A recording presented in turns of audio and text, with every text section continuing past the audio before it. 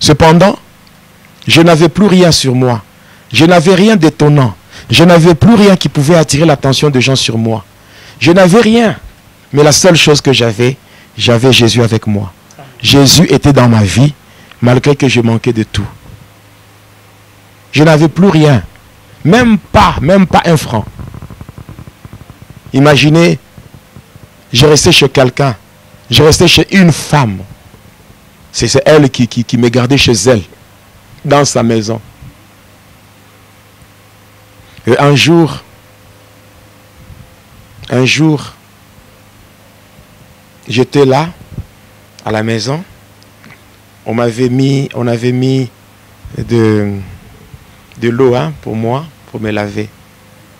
Et le diable, comme si cela ne suffisait pas, juste quand je voulais entrer pour me laver, on avait mis de l'eau dans un seau. Je voulais entrer. J'entre seulement là-bas pour me laver. Curieusement, j'avais oublié le savon. Je sors de là juste pour aller récupérer le savon et tout s'était écroulé. Tout s'était écroulé. Donc, euh, et la fosse sceptique et tout. Donc, moi, si je n'étais pas sorti pour prendre le savon, donc je serais enterré là-bas. Et je vois moi-même je vois le Seigneur Jésus apparaître comme ça. Je le vois bien devant moi. Et il me dit, tu es guéri. Et sache que tu vas me servir. je l'ai vu. Et juste après m'avoir dit, tu es guéri, sache que tu vas me servir. Et il était parti. Donc il a disparu comme cela. Et quand je me réveille, je suis sauté et je disais, mais je suis guéri, je suis guéri.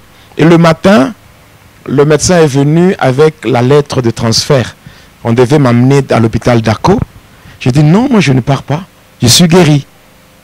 Non, il faut aller, il faut aller parce qu'ici, à notre niveau, on n'a pas pu résoudre le problème, mais il faut qu'on aille euh, dans un grand centre. Là, on, pourra faire des examens approfondis. J'ai dit, non, moi je dis, je suis guéri. Va et Ziller, c'est l'histoire d'une vie transformée par Jésus-Christ après avoir servi le diable pendant 25 ans. Va et Ziller, c'est l'histoire du pasteur Jonas Lonkutompala Yedidia, aujourd'hui serviteur de Dieu, jadis sataniste. Hormis le témoignage du pasteur Jonas, plusieurs thématiques seront abordées dans différents numéros de cette émission. Pour ne rien rater, abonnez-vous sur votre chaîne Jonas Lonkutompala, chaîne officielle. N'hésitez pas à liker la vidéo si elle vous plaît et si vous êtes nouveau sur la chaîne, n'oubliez pas de vous abonner et d'activer la notification pour ne rater aucune de nos prochaines vidéos. N'hésitez pas à liker la vidéo si elle vous plaît et si vous êtes nouveau sur la chaîne, n'oubliez pas de vous abonner et d'activer la notification pour ne rater aucune. Rien n'est plus merveilleux dans ces mondes, rien n'est plus beau dans ces mondes que le fait d'avoir en soi comme Seigneur et Sauveur Jésus-Christ de Nazareth aimable internaute, aimable téléspectateur, vous tous qui aimez suivre l'émission Va et Dealer, grande est notre joie de vous savoir nombreux. Nous disons que l'éternel Dieu vous bénisse et nous sommes très contents du fait qu'on est là pour un autre numéro. Je sais que vous étiez nombreux à attendre le numéro 55 de l'émission Va et Dealer. On est là pour vous servir et nous disons merci à Boniverdic Béa qui est à la réalisation de cette belle émission. Merci à vous de partout où vous êtes, de partout où vous nous suivez. C'est l'émission Va et Dealer. On a toujours dit que les bonnes choses, c'est partage. N'oubliez pas de partager la vidéo. Et si c'est la toute première fois de euh, nous suivre, en tout cas, euh, en fait, euh, veuillez vous abonner sur, sur cette chaîne.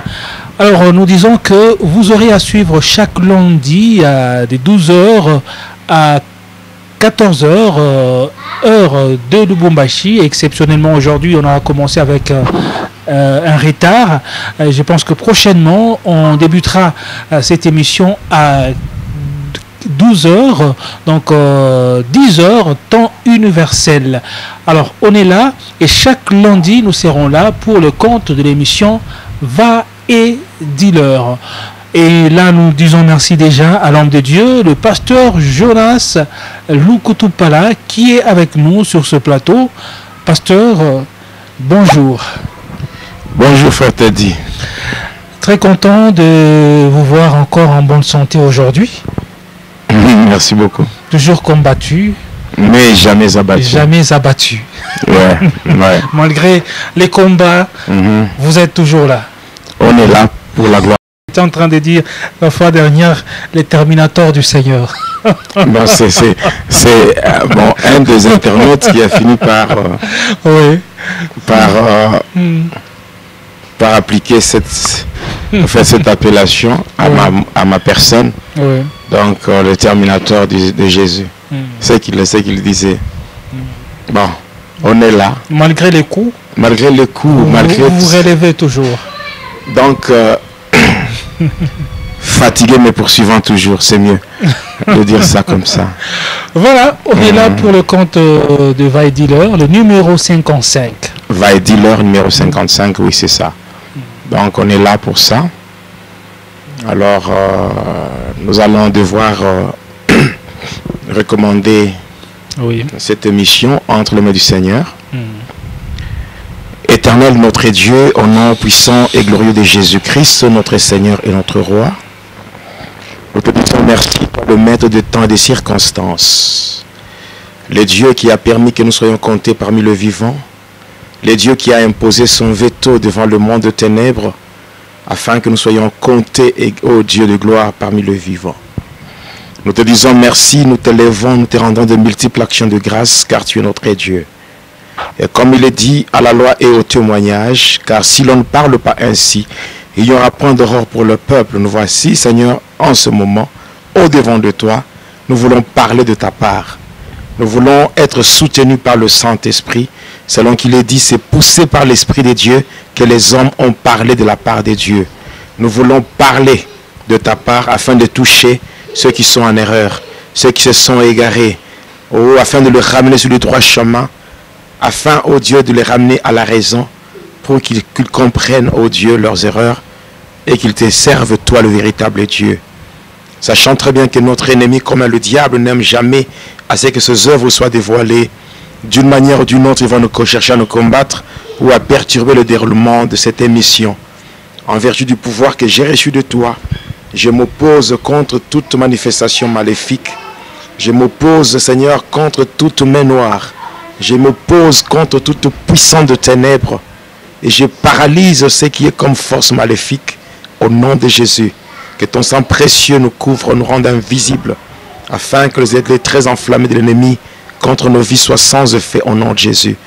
Gloire te soit rendue, toi le véritable Dieu, au nom de Jésus-Christ. Amen. Amen. Alors nous sommes là pour le compte de l'émission. Va et je vous demanderai de partager la vidéo. On va poursuivre avec, euh, et la fois dernière, vous étiez en train de parler, c'était euh, la- votre conversion et la délivrance qui s'en est suivie. Bon, il est vrai que j'ai déjà commencé à parler sur ma conversion. Donc, euh, j'ai parlé sur le, euh, cette motivation qui m'a poussé à m'éloigner de Satan. Pourquoi est-ce que j'ai décidé de mettre fin à cette relation qui existait entre moi et Satan Donc, voilà. Alors, ça c'est de 1 et de 2. Euh, le diable lui-même ayant compris que j'avais jugé bon de lui fausser compagnie, il ne m'a pas rendu la tâche facile. Voilà pourquoi il a décidé vraiment de me faire la guerre, de m'empêcher vraiment à avoir ma délivrance.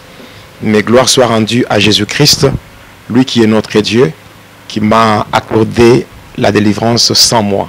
Amen. Ah, donc j'aimerais qu'on lise une portion d'écriture afin de soutenir ce que nous sommes en train de faire. Alors là, je peux prendre le livre de psaumes. Je prends le psaume 66 et le verset 16. La parole de Dieu dit ceci. Euh, venez, écoutez, vous tous qui craignez Dieu, et je raconterai ce qu'il a fait à mon âme. Venez, écoutez, vous tous qui craignez Dieu, et je raconterai ce qu'il a fait à mon âme. Amen. Amen. Ici, il s'agit euh, il s'agit euh, du témoignage euh, d'une personne, d'un homme. Et cet homme, c'est le pasteur Jonas, je dis Dia. Jonas, le nom qui m'a été donné par le Seigneur lui-même par rapport à la mission. Parce que il est dit dans Colossiens 1,16 que tout a été créé par lui et pour lui. Donc nous avons été créés nous avons été créés par euh, Jésus et pour Jésus. Donc c'est ça. Alors il se fait que euh, le Dieu qui nous a créés, le diable, le diable aussi, peut désorienter l'homme. L'homme qui est censé servir Dieu peut se retrouver désorienté pour faire le contraire de la volonté de son Créateur. C'est le cas de Jonas. Je parle de Jonas selon la Bible. Il a été envoyé par Dieu Ninive. Mais finalement, il s'est retrouvé où? Il s'est retrouvé en train d'aller vers Tarsis. Parce que euh, ce qu'il faut savoir, c'est que euh, mes parents biologiques ne m'avaient pas donné le nom de, de Jonas. Mes parents biologiques ne m'avaient pas donné le nom de Jonas. Le nom de Jonas, c'est un nom qui m'a été donné par Dieu. Là, c'est en rapport avec, la mission. Jonas qui était censé aller à Ninive, mais il s'est retrouvé en train d'aller à Tarsis. Mais Dieu l'a récupéré et Dieu l'a ramené à Ninive. Jonas. Donc moi, j'ai été créé par Dieu et pour Dieu. Mais cependant, étant dans ce monde, j'ai été désorienté pour me retrouver en train d'accomplir la volonté de Satan.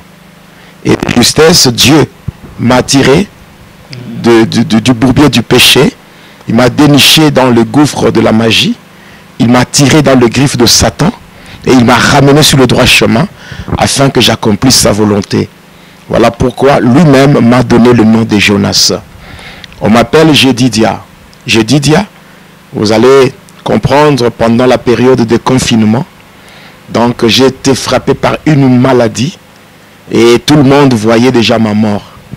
Et donc euh, toutes les prières qui étaient faites étaient restées stériles. Donc tout ce qui était faisable n'avait produit aucun effet. Mais cependant, malgré ce complot qui était monté contre moi à partir du monde de ténèbres, mais Dieu s'est penché sur moi avec un regard de père. Il m'a témoigné son amour et il m'a tiré de ce gouffre. Là où le diable voulait vraiment, euh, donc il voulait en finir avec moi. Alors Dieu m'a témoigné son amour. Cet amour de Dieu pour moi, ça a montré le nom euh, le nom, mon nom dans le cœur de Abba, c'est-à-dire le nom de Jedidia. Jedidia, c'est le nom par lequel Dieu m'a témoigné son amour en me tirant de là où je ne pouvais pas sortir de moi-même.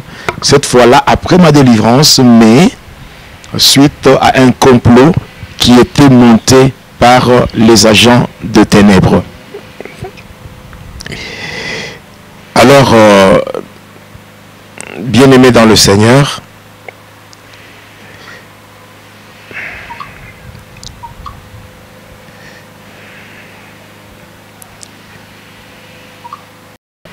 histoire liée à l'homme de Jonas. Alors, aujourd'hui, ça sera le numéro, le numéro 55. La dernière fois, nous étions en train de parler sur le numéro 54. Là, on s'est arrêté euh, au niveau où je me retrouvais. J'étais à l'hôpital. on m'avait interné à l'hôpital, c'est-à-dire que lorsque j'étais revenu à moi-même, je m'étais retrouvé à l'hôpital.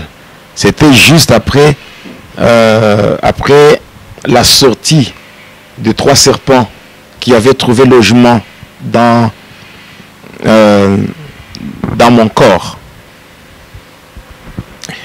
Avant d'aller plus loin, permettez-moi s'il vous plaît de parler de quelque chose. J'espère que mon présentateur ne va pas trouver cela, euh, ne va pas prendre cela mal si je parlais un peu de quelque chose. Bon, allez-y. Voilà. Oui. Euh, ce que j'aimerais dire, c'est quoi? C'est le plan du monde de ténèbres contre ma personne.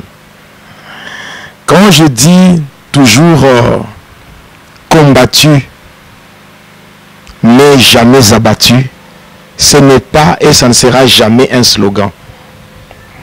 Je suis une personne vraiment combattue à un degré tel que si c'était une personne qui n'avait pas la foi en Jésus-Christ, il l'aurait déjà abandonné.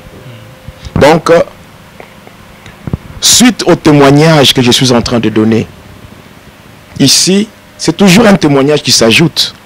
Suite au témoignage que je suis en train de donner en dévoilant les œuvres de ténèbres, Oui. je suis devenu une cible du monde de ténèbres. Il n'y a pas longtemps, il n'y a pas longtemps, euh, il, y a, environ, je vais dire, une semaine, il y a eu une grande réunion qui a été, euh, qui, qui, s'est passée dans le monde de ténèbres. Et cette réunion a été présidée par Lucifer Satan lui-même.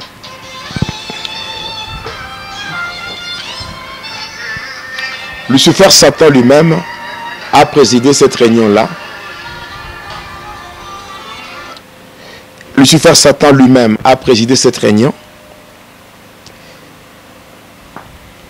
Et il était question de mettre fin à la vie de Jonas. Pourquoi cet homme déstabilise nos activités? Il est vrai. Peut-être vous ne connaissez pas l'impact de ce que ce témoignage a fait dans le monde entier. Le témoignage du pasteur Jonas, je le dis bien, sans prétention aucune, le témoignage du pasteur Jonas a bouleversé le monde. Et ça, les preuves sont là. Donc, ça a bouleversé le monde de ténèbres. Il y a beaucoup de gens qui étaient dans l'ignorance. Il y a même des pasteurs qui étaient dans l'ignorance. Il y a même des pasteurs qui étaient initiés à l'occultisme sans le savoir. Lorsque le pasteur Jonas est passé et qu'il a parlé sur l'occultisme dans l'église, quand j'ai parlé sur l'ordre des Océniens, j'ai parlé sur l'ordre de Melchisedec, j'ai parlé sur la Kabbale, j'ai parlé sur la magie sainte. Mais vous ne savez pas le nombre de pasteurs qui m'ont appelé. Beau- Combien de pasteurs sont passés à la délivrance? Combien de pasteurs qui étaient honnêtes, mais qui ont été induits en erreur par leur mentor pour les initier à l'occultisme Ils se sont retrouvés en train de servir Dieu avec des puissances diaboliques, croyant servir Dieu. Mais à partir de Jonas, ce voile est tombé, les gens sont revenus à la raison, il y a beaucoup de gens qui sont revenus sur le droit chemin. Et pour le diable, Jonas, c'est une cible, c'est un homme à abattre. Alors, il y a eu une réunion qui s'est passée. Moi, Jonas, le Seigneur m'a transporté en esprit. Et il m'a dit, Jonas, viens, je vais te montrer. Et le Seigneur m'a transporté. Et c'est comme cela que j'ai vu des réunions. Première réunion, c'était dans le monde de ténèbres. On a monté des, complots pour tuer le pasteur Jonas. De deux, deuxième complot, il y a une réunion de pasteurs, des pasteurs entre guillemets, des pasteurs qui prétendent servir Dieu, mais en réalité, ce sont les agents de Satan qui se servent de l'œuvre de Dieu comme une source lucrative, qui sont là pour rançonner les enfants de Dieu. Voilà. Ils ont aussi fait des réunions pour monter de pieds, de, de stratégies afin de mettre fin à ma vie. La stratégie qu'ils ont prise, c'était laquelle? C'était d'infiltrer maintenant l'entourage ou la ceinture du pasteur Jonas. Mais je le dis sans, sans avoir froid aux yeux. Et eux-mêmes, quand je parle comme ça, ils sont étonnés. Ils se posent des mille et une questions. Mais cet homme, il connaît comment? Le Saint-Esprit de Dieu. Il nous révèle même les choses au cachet. Voilà pourquoi ils se sont arrangés. Parce que moi, le Seigneur Jésus-Christ qui m'a appelé, il m'a donné une vision. Et cette vision a deux bras. Je dois être précis. Il y a deux bras de la vision que j'ai reçue. La même vision, mais qui a deux bras. Le premier bras, c'est l'église et Christ Église évangélique Christ notre salut. Et le deuxième bras, c'est le ministère international Prions pour le monde. Il y a de ces pasteurs-là qui se sont ligués, qui se sont fait passer comme de bonnes personnes et qui ont infiltré, qui ont infiltré Prions pour le monde, qui ont infiltré écrit ça et qui ont commencé à répandre de faux bruits, disant aux gens de se séparer du pasteur Jonas parce que il n'enseigne pas la saine doctrine et que il est rentré dans des fétiches, il a fait, il a fait, il a fait. Et tout ça, à partir de là, le monde de ténèbres a dépêché deux anges. Deux anges de ténèbres. Et ces anges-là, quand le Seigneur me montrait, ces anges-là étaient vêtus en toge de couleur noire. Et ces anges-là étaient maintenant venus pour activer certaines réunions avec les différentes fraternités sataniques. Et là, je vois les ordres sataniques tels que la Rose-Croix, Maïkari, franc-maçonnerie, il y a beaucoup d'ordres, beaucoup de gens qui se sont levés avec comme intention de tuer le pasteur Jonas. Et ils ont commencé à financer les gens. Et au niveau des entreprises, au niveau de, certains, de certaines sociétés, ils ont commencé à proposer de l'argent aux gens, proposer la promotion à certaines personnes afin que ces personnes arrivent à me piéger. Vous êtes, même vous, vous êtes sans ignorer qu'il n'y a pas longtemps, le dimanche, le dimanche passé, pas le dimanche d'hier, mais l'autre dimanche là, oui, j'ai failli mourir la nuit du, samedi au dimanche. Et même dans le culte du dimanche, le dimanche passé, j'ai failli mourir, j'ai failli tomber du haut de la chair. Et tout cela, pourquoi? À cause du poison. Quantième poison, douzième poison. Voilà. Donc toutes ces choses-là sont arrivées. Et les gens croyaient que Jonas, c'est fini. C'est fini, c'est fini, c'est fini. Mais gloire soit rendue à Jésus-Christ. Vous voyez, tel que je suis là, je suis en forme. Je suis en bonne forme. Et les gens se sont étonnés, se demandent, mais cet homme, c'est comment?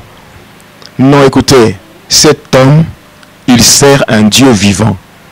Et le Dieu que je sers, c'est le Seigneur Jésus-Christ. Il ne m'abandonnera jamais. On a fait dernièrement avec vous l'émission Le pasteur Jonas vous écoute. Ça a permis à beaucoup de gens d'intégrer d'intégrer Prions pour le monde. Mm.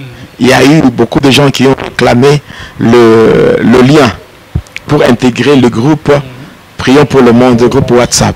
Vous savez quoi? Les gens sont tellement compliqués. Quand j'ai commencé par, par rapport au deuxième bras, Prions pour le monde, en créant un groupe WhatsApp. Hein, WhatsApp. Bon, en fait, les gens qui sont venus dans mon répertoire et qui ont été, euh, qui ont été regroupés dans le ministère Prions pour le monde, par le groupe WhatsApp, bien sûr. Ces gens-là, ils ont écouté quoi? Le témoignage du pasteur Jonas. Et sur base de ça, ils ont vu comment Dieu a agi, comment Dieu s'est manifesté en, amenant le pasteur Jonas à la délivrance. Et ces gens sont venus. Mais curieusement, il y a d'autres qui n'ont rien à présenter, mais qui viennent juste même dans le groupe Prions pour le monde de pasteur Jonas pour commencer à prendre les gens allez, venez, venez, sortez de ce groupe, sortez, sortez, sortez. Mais tout ça, ça rime à quoi? Mon frère te dit, je, si, je vous pose un peu la question, tout ça, ce n'est pas la méchanceté des hommes. Ouais, c'est la méchanceté. La méchanceté. D'ailleurs, je profite de l'occasion pour souhaiter la bienvenue à tous ceux-là qui, ont, qui nous ont rejoints dans Prions pour le monde. Ceux-là qui ont intégré la vision Prions Bon, pour le en monde. fait, si je comprends bien, il y a Mm. des- ces personnes-là Ouais. qui quittaient euh, le groupe Prions pour le monde. À quitter Prions pour le monde. À quitter Prions pour le monde. Bon, si vous, vous avez eu la saine doctrine à prêcher, vous avez des révélations à donner, n'est-ce pas? Mais venez même sur YouTube, parlez de votre vie, parlez de votre témoignage, parlez de vos expériences avec, le Seigneur. Les gens qui seront convain- convaincus de ce que vous avez à présenter, ils vont vous suivre, non? Maintenant, pourquoi vous cherchez toujours que le pasteur Jonas fasse quelque chose pour que vous veniez vous cacher derrière le pasteur Jonas? Pour chercher à prendre ceci, prendre cela C'est la bassesse. Je le dis haut et fort, c'est la bassesse. On, prend les gens qui sont dans le ministère du pasteur Jonas, prions pour le monde. On crée des groupes parallèles pour prendre les gens et les amener là-bas. Mais en, réalité, c'est Dieu que vous servez ou bien c'est le diable? Si vous avez une vision à présenter par rapport vos activités, faites-le, mais ne vous servez pas du pasteur Jonas, ne vous servez pas de prions pour le monde, ne venez pas saper la réputation du pasteur Jonas par des, des, racontars inutiles. Parce que moi, personnellement, c'est du n'importe quoi. C'est du n'importe quoi. Donc, vous voulez créer un groupe WhatsApp, il faut d'abord venir auprès du pasteur Jonas et commencer maintenant à, faire des spéculations, de ceci, de cela, envoyer des liens aux gens, quittez là-bas, venez ici, quittez là-bas, venez ici. Donc, quand les gens quittent le groupe du pasteur Jonas et ils, ils- rejoignent vos groupes, et cela directement, ils, ils vont au ciel. C'est ça. C'est ça le ciel. C'est ça le ciel. Par contre, quand même, le pasteur Jonas, il a quand même le courage de parler de sa vie. Hein, frère, te dit qu'on se dise quand même la vérité. Tous ces gens qui sont dans Prions pour le monde, ils ont écouté mon témoignage. Ils ont vu comment Dieu, Il est en train de vous utiliser. voilà, et ils sont venus. Maintenant, vous, les autres là qui veulent aussi faire ceci ou cela, mais qu'ils présentent une vision et d'autres choses, des expériences qu'ils ont pu faire avec le Seigneur. Et puis faites ce que vous avez à faire. Quand vous faites ça, c'est la bassesse.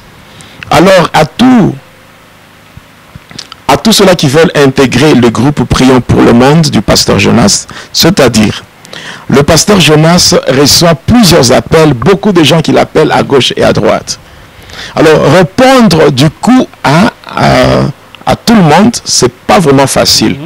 Alors, on préfère, le Seigneur m'a mis à cœur de faire ce deuxième bras. Parce qu'en dehors de Prions pour le monde, je gère encore l'église et Christa. Ouais. Il y a l'église Christa avec tout ça, tout ce qu'il y a comme extension et tout. Mais cependant, il y a, nous prions pour le monde et on a créé une intercession. Ouais. Tous ceux-là qui adhèrent, ils viennent avec leurs problèmes et nous faisons de fortes prières d'intercession afin que la main de Dieu soit visible dans leur vie. Donc, euh, Ouais. euh, prions, prions, prions pour le monde, c'est euh, c'est plus la prière. C'est la prière, nous soutenons les gens. Différentes requêtes que les gens Ouais. amènent et Ouais. ensemble, on prie pour ça. On prie pour le soutenir, Ouais. on les encadre. Hmm. Voilà, on encadre les gens. Les gens qui sont avec moi.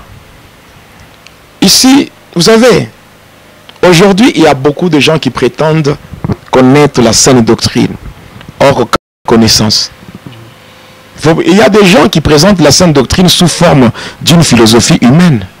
Mais ils n'ont pas la, connaissance de la, de la spiritualité. Donc moi, quand je témoigne, je parle de ma vie. Et je présente le Seigneur Jésus-Christ, celui qui m'a sauvé, et je le présente auprès des gens. Les gens qui viennent, ils viennent adhérer à Prions pour le monde, et ensemble nous prions Donc chaque lundi, chaque mercredi, chaque vendredi. Et le dimanche, nous nous réunissons pour la parole de Dieu, le partage de la parole de Dieu. Nous exhortons, nous faisons tout ce qui est faisable pour nourrir les enfants de Dieu et les encadrer afin qu'ils restent dans cette atmosphère spirituelle. Voilà, le- leur permettant de garder leur foi. Voilà. Voilà, je Donc, pense que euh, c'était oui. important de, de- de le dire et de clarifier cela. Oui, c'était important de clarifier parce que il y a des gens qui commencent à vraiment à exagérer. Le silence et le calme du pasteur Jonas, c'est sa nature. Ce n'est pas. Ah, J'ai trop supporté. J'ai trop supporté.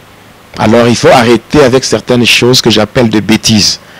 Hein, de bêtises. Quelqu'un qui vient, qui va attaquer euh, le secrétariat du pasteur Jonas, il dit, non, nous allons maintenant, hein, nous allons maintenant commencer à contacter les membres de Prions pour le monde pour leur donner le message de Dieu.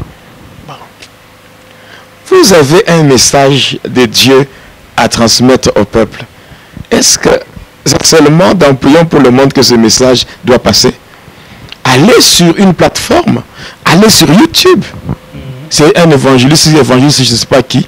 Mais allez sur YouTube. Vous arrivez là-bas, vous parlez clairement, et comme ça, le monde entier sera touché par votre message. Nous, nous avons prié pour le monde avec une vision précise. Mais qu'on nous laisse tranquille avec ce que nous faisons, c'est clair. Qu'on nous laisse tranquille. Si vous, vous dites que non, non, prions pour le monde ne nous intéresse pas. Vous êtes libre de faire ce que vous voulez. Vous êtes libre de faire ce que vous voulez. C'est comme quand il y a des églises dans ce monde. Il y a une église X, il y a une église Y, et chaque église a sa vision. Donc la vision de X, ce n'est pas la vision de Y. Donc moi, passant par prions pour le monde, c'est ma vie que je suis en train de taler au travers de mon témoignage. Alors si vous n'avez rien à donner, alors ne venez pas me créer, me, me créer des problèmes là où il n'y en a pas.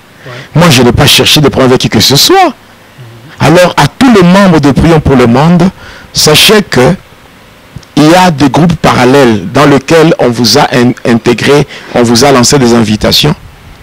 C'est ce, groupe-là, ce n'est pas le pasteur Jonas qui est derrière cela. Mais cependant, vous êtes des enfants de Dieu. Moi, je ne peux pas vous empêcher, vous empêcher d'adhérer à quelque chose selon vos convictions. Mais moi, je vous dis, il y a des choses qui ne m'intéressent pas, qui ne me concernent pas. Aujourd'hui, moi, si je me suis levé aujourd'hui pour parler aux enfants de Dieu, j'ai cette ferme conviction et je prends Dieu à témoin, passant par mon témoignage et passant par la connaissance que j'ai du monde des ténèbres, je suis en train d'aider beaucoup d'enfants de Dieu à échapper à l'enfer. Beaucoup d'enfants de Dieu, je suis en train de les aider à gagner le ciel et à échapper à l'enfer. C'est tout ce que moi je suis en train de faire.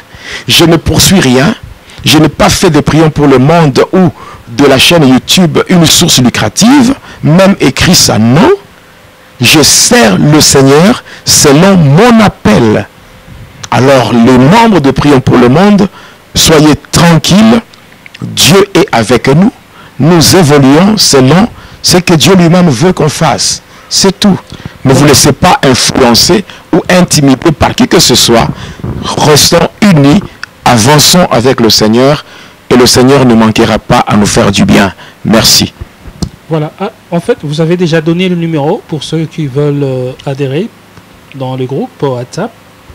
Bon, je pense que euh, tous les numéros, tous les numéros qui, qui, qui, qui- qui vont apparaître, hein, qui, qui, qui seront affichés dans pas longtemps euh, au bas de l'écran, ce sont des numéros WhatsApp. Si quelqu'un veut entrer ou intégrer dans le groupe Prions pour le monde, Il va vous écrire à l'un de vos numéros. oui, il peut m'écrire à l'un de mes numéros et directement je vais euh, le faire entrer dans Prions pour le monde.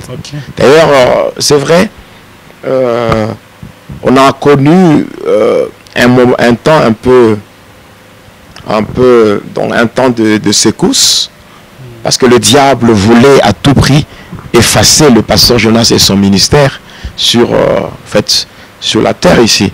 Il voulait le faire. Mais cependant, nous sommes en train de réorganiser les choses. Nous sommes en train de réorganiser Prions pour le monde. Et je sais très bien que les gens peuvent influencer d'autres personnes. Mais cependant, si c'est le Seigneur lui-même qui a touché les gens pour venir vers le pasteur Jonas, personne ne peut changer la volonté de Dieu. Le plan de Dieu, personne ne peut le changer. Là, je profite même de l'occasion pour euh, saluer ma jeune sœur Dani euh, de Veki Top TV. Ah, voilà, ma sœur Dani qui est en train de nous suivre. Donc de Veki Top TV. En tout cas, je la salue au nom de Jésus. Merci. Voilà, alors nous allons poursuivre euh, le témoignage. Oui. Oui. Alors, euh, pour ce qui est du témoignage, si on doit continuer avec le témoignage, la dernière fois quand je parlais, je m'étais arrêté. euh, je m'étais arrêté sur euh, la période où j'avais quitté la maison de la maison où on m'avait logé, c'est-à-dire chez qui est encore musée Élysée, si je restais chez lui. Alors euh, j'ai resté dans son salon, c'est là où Likassi, oui, oui. Alors, euh, lorsque le pasteur Jacques Mouton était venu me voir pour me proposer de, de rendre le témoignage à l'église, alors connaissant ce que nous on faisait lorsque nous étions de l'autre côté, comment on combattait, comment on attaquait les gens qui témoignaient. Alors je me disais, comme je ne suis plus de ce camp-là et que je suis du camp, du camp de Jésus, alors certainement moi aussi, euh, moi aussi, je serai attaqué. Donc, euh, je ne, je n'avais pas refusé de témoigner, mais j'avais peur. peur. Oui, là, il faut le dire. J'avais peur, je me disais non. Je risque de connaître encore ce que, j'avais, ce que les autres subissaient lorsqu'ils donnaient leur témoignage. Et par conséquent, autant que je, je change de stratégie. Alors, euh, la stratégie que j'avais prise était celle de fuir. Je me disais que le matin, j'allais me réveiller très tôt le matin et j'allais prendre mes effets. Sortir de la maison, fuir pour aller à Lubumbashi. Et Lubumbashi, j'allais rencontrer mes amis et avec eux, ensemble, on- j'allais quitter même le Mhm. Congo pour aller en Tanzanie. C'était ça, donc, ce que j'avais dans la tête. Alors, euh, euh, la nuit, c'est là qu'il y avait cette histoire-là des serpents. Donc, euh, c'était passé comme cela jusqu'au dernier serpent. Dans le dernier serpent, quand j'avais poussé un cri de détresse, c'était, j'avais poussé un grand cri, et c'est là que euh, Mosée Élisée, qui était dans sa chambre, il était venu, il était venu parce qu'il avait entendu mon cri. Mhm. Il était venu et sa femme, maman Sarah, tout le monde était venu là. Et voilà, on avait appelé les gens de l'église, tout ça. Et j'avais perdu connaissance. Et quand j'avais perdu connaissance, je m'étais retrouvé où? C'était le matin, Mhm. mais c'était autour de 11 heures que j'avais repris connaissance.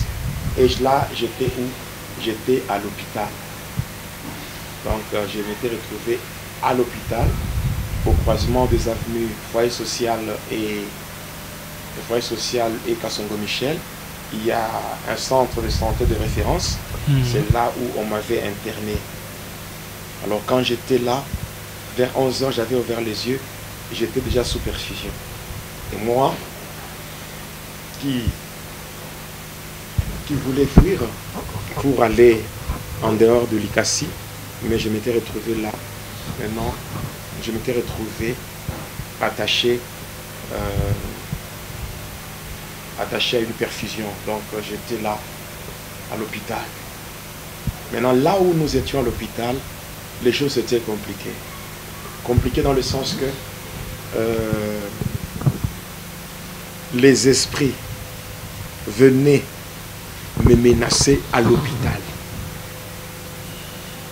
Donc c'était impossible pour me soigner. Parce que euh, lorsqu'on voulait me donner des soins, il fallait procéder d'abord par les examens. Oui. En faisant les examens, tout était négatif. Tout était négatif. On n'était pas malade. Je n'étais pas malade. Hmm. Mais en observant mon état, donc en me regardant seulement comme ça, on ne pouvait que conclure que j'étais sérieusement malade. Or qu'en réalité, je n'étais pas malade. Et c'était pénible pour moi ce jour-là. J'avais beaucoup souffert là-bas à l'hôpital, au point que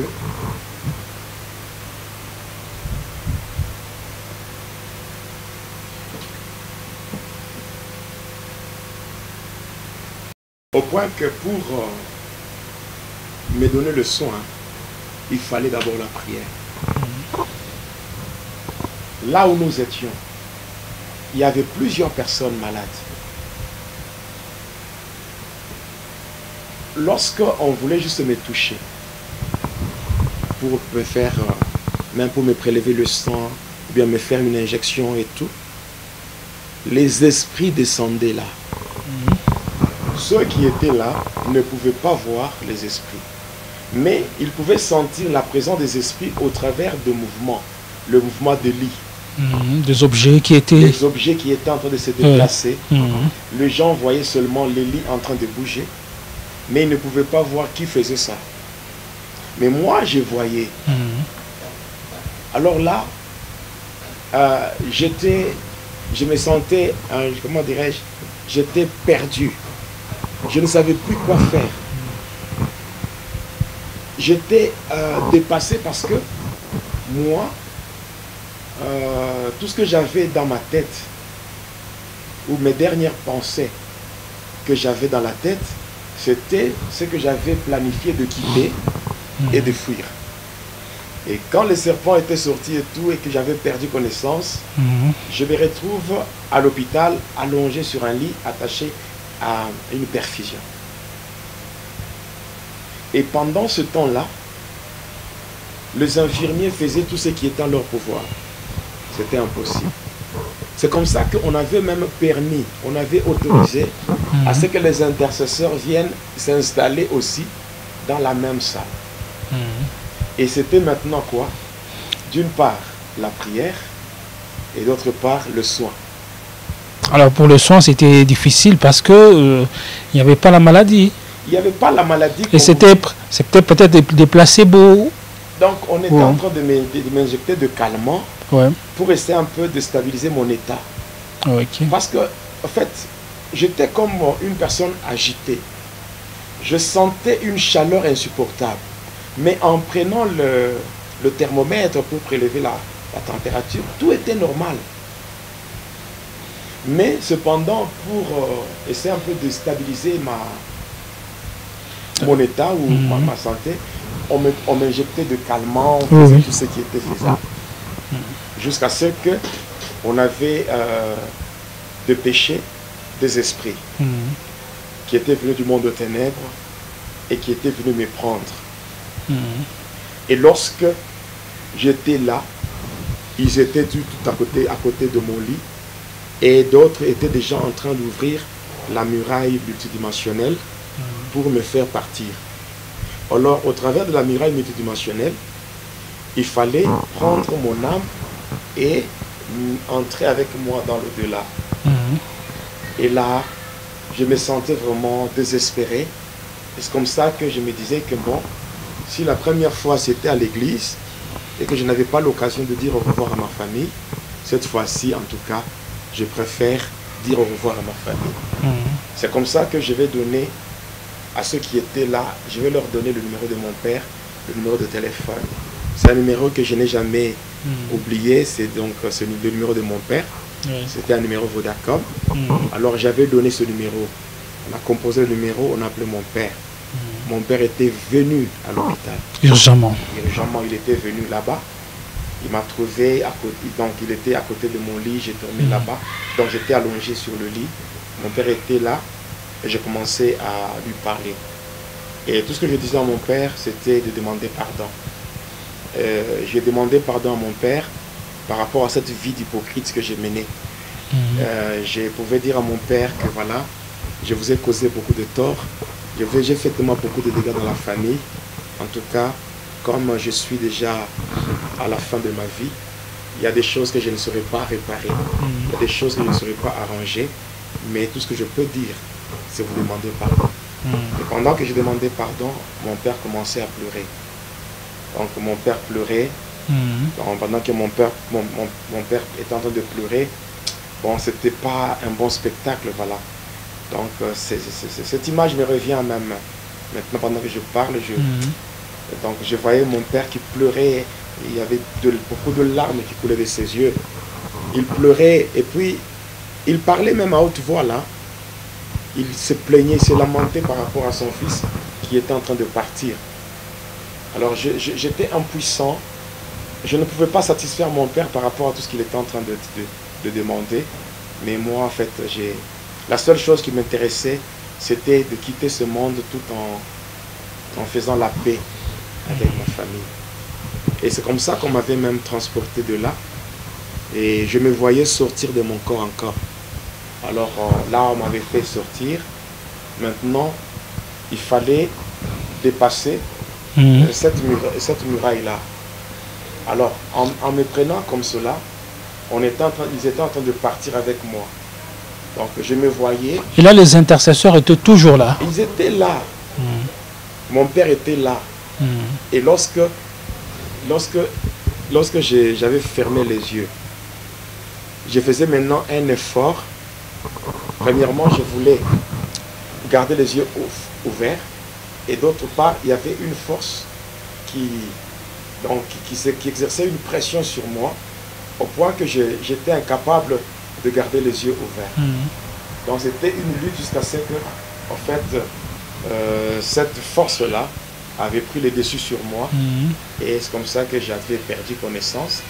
Et en perdant connaissance, lorsqu'on me faisait maintenant sortir de mon corps, on faisait sortir de mon corps pour me faire traverser, me faire traverser cette muraille. Et là, on partait encore avec moi. Arrivé juste à l'entrée, donc en, en traversant la muraille, arrivé à l'entrée du monde de ténèbres. C'est là qu'il y avait une personne euh, donc, qui était tout en blanc. Il brillait tellement. Il, cette personne était là. Et juste par son apparition, ceux-là qui, qui me transportaient avaient disparu. Et lui m'avait ordonné en disant, rentre. Il faut que tu accomplisses ma volonté. Et alors c'est lui qui m'avait sauvé. Une fois de plus, c'était le Seigneur Jésus. C'est-à-dire, lorsque on me prenait, on était en train de me faire partir. Parce que cette fois-là, je dois être honnête, la première fois que le Seigneur m'avait ramené du séjour des morts, il l'avait fait dans sa souveraineté. Mais cette fois-ci, quand les agents de ténèbres voulaient me prendre et m'amener dans le, dans le ténèbre, c'était à cause de ma propre faute. Donc, je n'avais qu'à faire confiance au Seigneur et je n'avais pas à trembler. Et aussi, une autre chose, on m'avait proposé de témoigner, de témoigner vous aviez refusé. que on ne m'avait pas encore préparé. Ah. Le tout n'est pas de témoigner, mais le tout est d'être préparé pour témoigner. Alors, le fait que je n'étais pas préparé pour témoigner, le, tout- le- le- le fait que je n'étais pas préparé pour témoigner, c'était pour moi une confusion. J'avais peur, je ne savais pas hein, qu'est-ce qui allait m'arriver. Je ne savais pas je- à quoi est-ce que je m'attendais? Et suite à cela, c'est comme ça que ces agents de ténèbres ont trouvé une brèche pour m'atteindre. Et maintenant, lorsqu'ils me transportaient, après m'avoir fait traverser la muraille, lorsqu'ils me transportaient, arrivé juste à l'entrée de ce monde-là de ténèbres qu'ils appellent Vicole Orum, c'est là que cet homme-là était apparu. Et que, juste par son apparition, tous ces gens-là qui me transportaient avaient fui, avaient disparu, et lui m'avait juste, il, m'avait, il avait fait ce geste avec sa main en disant, tu rentres, tu dois accomplir ma volonté. Et c'est comme ça que j'avais encore ouvert les yeux, c'était où? C'était dans la salle. Alors, Quand j'étais maintenant dans la salle, euh, les intercesseurs avaient reçu la permission de, de- du médecin directeur de pouvoir euh, rester avec moi tout le temps de mon séjour à l'hôpital. Il Mhm. pouvait, euh, dans toute la période de, de mon séjour, il pouvait aussi rester avec moi là-bas. Mais Dieu s'était vraiment glorifié au point que non seulement moi j'étais là, mais tous ceux qui étaient malades dans la salle, passant par les prières qui se faisaient là, passant par les prières qui se faisaient, tous ces gens-là étaient guéris. À l'hôpital, il y avait des guérisons miraculeuses. Les gens étaient guéris. Il y a même, même aujourd'hui, il y a des témoignages et des témoignages de ce que Dieu, le Seigneur Jésus-Christ, avait réalisé dans cet hôpital. Donc de l'autre côté, vous étiez recherché par le monde des ténèbres Oui, et d'un autre, Dieu était en train de vous utiliser. Dieu, oui, passant par ma présence dans cet hôpital, Ah ok. le Seigneur avait, par ma présence, le Seigneur avait guéri les malades. Amen. Il avait libéré, il y avait des personnes qui souffraient de cirrhose de foie, il y avait des personnes qui avaient le sida, mais qui avaient bénéficié de la visitation de Dieu. J'étais là, je n'étais pas passé. Le frère Le Jonas. frère Jonas était Ouais. là et le Seigneur s'était glorifié. Mhm. Donc il y a beaucoup de choses que le Seigneur a, ré- a réalisées Mhm. dans des vies de gens passant par ma présence. Alors, moi, pendant que j'étais là, chaque fois que euh, les intercesseurs pouvaient prendre un peu de repos, Mhm. et le monde des ténèbres prenait encore la repos. Donc, c'était une lutte au point que, comme je le disais dans le numéro 54, il y avait, des attaques spirituelles, mais qui se manifestaient physiquement. Des lits qui se déplaçaient, des, infirmiers qui fouillaient, il y avait de- des gens qui fouillaient, il y avait de... Même au final, l'avant-dernier jour, l'avant-dernier jour, j'étais dans la salle là où on m'avait allongé. Je ne mangeais pas, je ne buvais rien. Donc tout était devenu compliqué. Mais vous aviez votre conscience euh, Oui. normale. Oui. Vous étiez en train de reconnaître euh, Je le, le- reconnaissais tout le monde. Oui. Et même mon père venait chaque jour pour me voir à l'hôpital. Alors, l'avant-dernier jour, je dev- on devait m'amener derrière là, il y avait, il y avait des, des installations sanitaires. Et on m'avait devait m'amener là-bas. Et maintenant, lorsque on m'avait fait sortir de la salle, on m'avait amené de l'autre côté. Du côté, il y avait des toilettes là. On avait envoyé les esprits des eaux avec une grande sirène. Juste quand j'étais arrivé, parce que là, je ne pouvais pas même, je ne, je ne marchais pas. On me tenait comme ça par deux personnes qui me transportent, qui me tenaient pour m'aider à marcher. Arrivé là derrière, derrière la salle, Mhm. Cette dame de ténèbres était venue. C'était à 11 heures pendant le jour. Et je l'avais vue. Donc elle, elle était venue. Comment?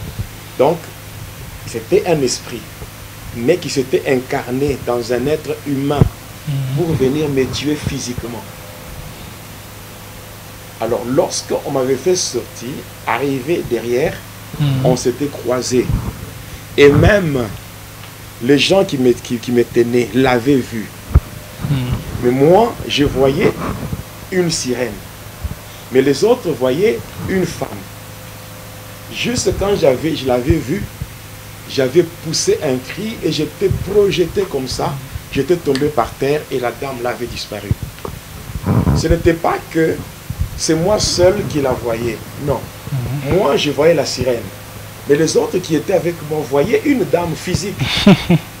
et quand j'étais projeté par terre, et là, elle, elle avait disparu, on, va me prendre, et là, on m'amène encore dans la salle, on va m'injecter des, des, des- des produits, c'était comme des, produits pour, euh, donc pour, euh, comment dirais-je, pour me calmer, euh, donc pour- Et pensez que c'était quelque chose qui était physique. oui, parce qu'on m'avait injecté des produits. Oh, ouais. Souvent, il y a certains produits comme les diazépam, tout ça qu'on injecte pour, euh, pour, euh, pour faire, euh, pour endormir une personne. Ah, ok. Voilà. On m'avait injecté tous ces produits-là, mais malgré tout ce qu'on avait fait, c'était sans succès. J'ai continué à souffrir, à souffrir. Et jusqu'à ce que la nuit, euh, le docteur Lydie, Mhm. qui était médecin directeur de, euh, de cette euh, en fait de ce centre-là, avait décidé mon transfert. Mhm. Avait dit non, cet homme ici, Mhm. vu que euh, on ne parvient pas à, à- à l'aider, il faut qu'il soit transféré dans un grand hôpital pour qu'on puisse continuer avec le soin. Bon, et voilà, tout le monde avait accepté tout ça. Et moi, je savais que le transfert qu'on- qui devait se faire là, de ce centre-là vers un grand hôpital comme l'hôpital d'Aco, Mhm. c'était pour m'achever. Ah, c'est- c'est- c'est- C'était pour, euh, pour que je sois vraiment achevé. Donc euh, c'est comme ça que euh, lorsque je j'avais accepté comme cela, arrivé le soir, nous étions dans la salle, j'étais allongé sur le lit, il y avait maman Déborah, il y avait papa Jérémie, il y avait aussi le frère euh, Paul Mutanti. Hein, à l'époque, là, il était encore frère, Oui. avant qu'il soit pasteur. Mhm. Il y avait tous ces gens-là. Il y avait le frère euh, Jean-Baptiste Moulande. Il y avait euh, Jean-Baptiste Moulande. Il y avait Jean-Baptiste Koulita. Il y avait tous ces gens. Le frère Emmanuel Kalala, ils étaient là. Et après, il y a eu un frère. Mon grand frère là, c'est Moïse. Moïse Namouzaza. Il était toujours l'un des intercesseurs. Euh, il était venu, il me dit, mon frère, pourquoi veux-tu prolonger ta souffrance? J'ai dit, moi, prolonger ma souffrance? Il dit, oui. Pourquoi tu veux prolonger ta souffrance? Est-ce que tout ce que tu es en train d'endurer aujourd'hui, les attaques, euh, les menaces, les, toutes, toutes ces choses, si Dieu avait voulu que tu meurs, tu ne serais pas de ce monde. Tu étais déjà parti. Ce jour-là, le 20 décembre, tu étais déjà parti. Tu étais déjà fini pour toi. Mais si il a jugé bon de descendre jusque dans le séjour des morts et de te prendre pour te ramener, c'est qu'il y a une raison. Alors dis seulement à ces dieux-là, dis seulement, sauve-moi. Et il va se manifester. Et tu verras que tout ce que tu es en train d'endurer, ça va prendre fin. Et puis c'est comme ça qu'il me parlait. C'est Moïse Namouzaza. Ah. C'est ça son nom. Il est à. Et après la nuit, j'ai fait une prière. Donc une simple prière que j'avais faite. J'étais en train de rappeler à Dieu. Je dis, mais Là, vous avez compris qu'il avait j'avais compris qu'il avait raison. Et je m'étais dit que ce n'était plus le moment d'avoir peur. Mhm. Mais c'était maintenant le moment de lui faire confiance. Ouais. Parce que vous savez, le Seigneur Jésus-Christ, quand il commence le travail dans la vie d'une personne, il ne le fait pas à moitié. Et même maintenant, quand je donne le témoignage, ici, il faut faire la part des choses. Il y a le frère Jonas et le pasteur Jonas.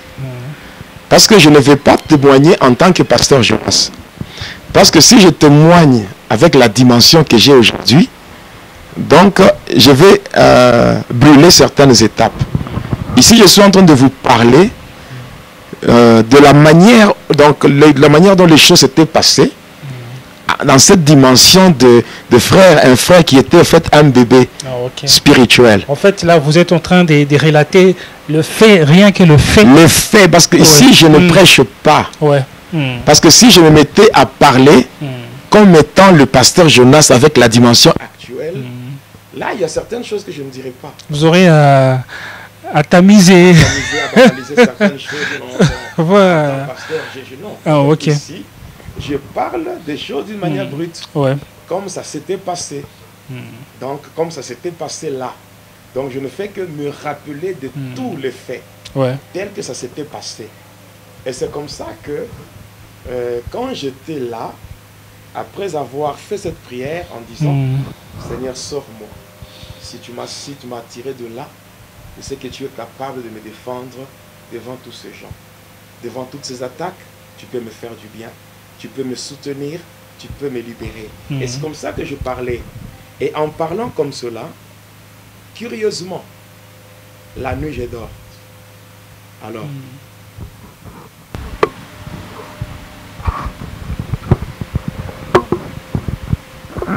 la nuit, pendant que je dormais, pendant que je dormais, qu'est-ce que je vais voir? Pendant que je dormais, je vais voir la chambre dans laquelle j'étais envahie par une forte lumière. Donc une forte lumière avait- envahi la chambre. Et je vois moi-même, je vois le Seigneur Jésus apparaître comme ça. Je le vois bien devant moi. Et il me dit, tu es guéri. Et sache que tu vas me servir. Je l'ai vu. Et juste après m'avoir dit, tu es guéri, sache que tu vas me servir. Et il était parti.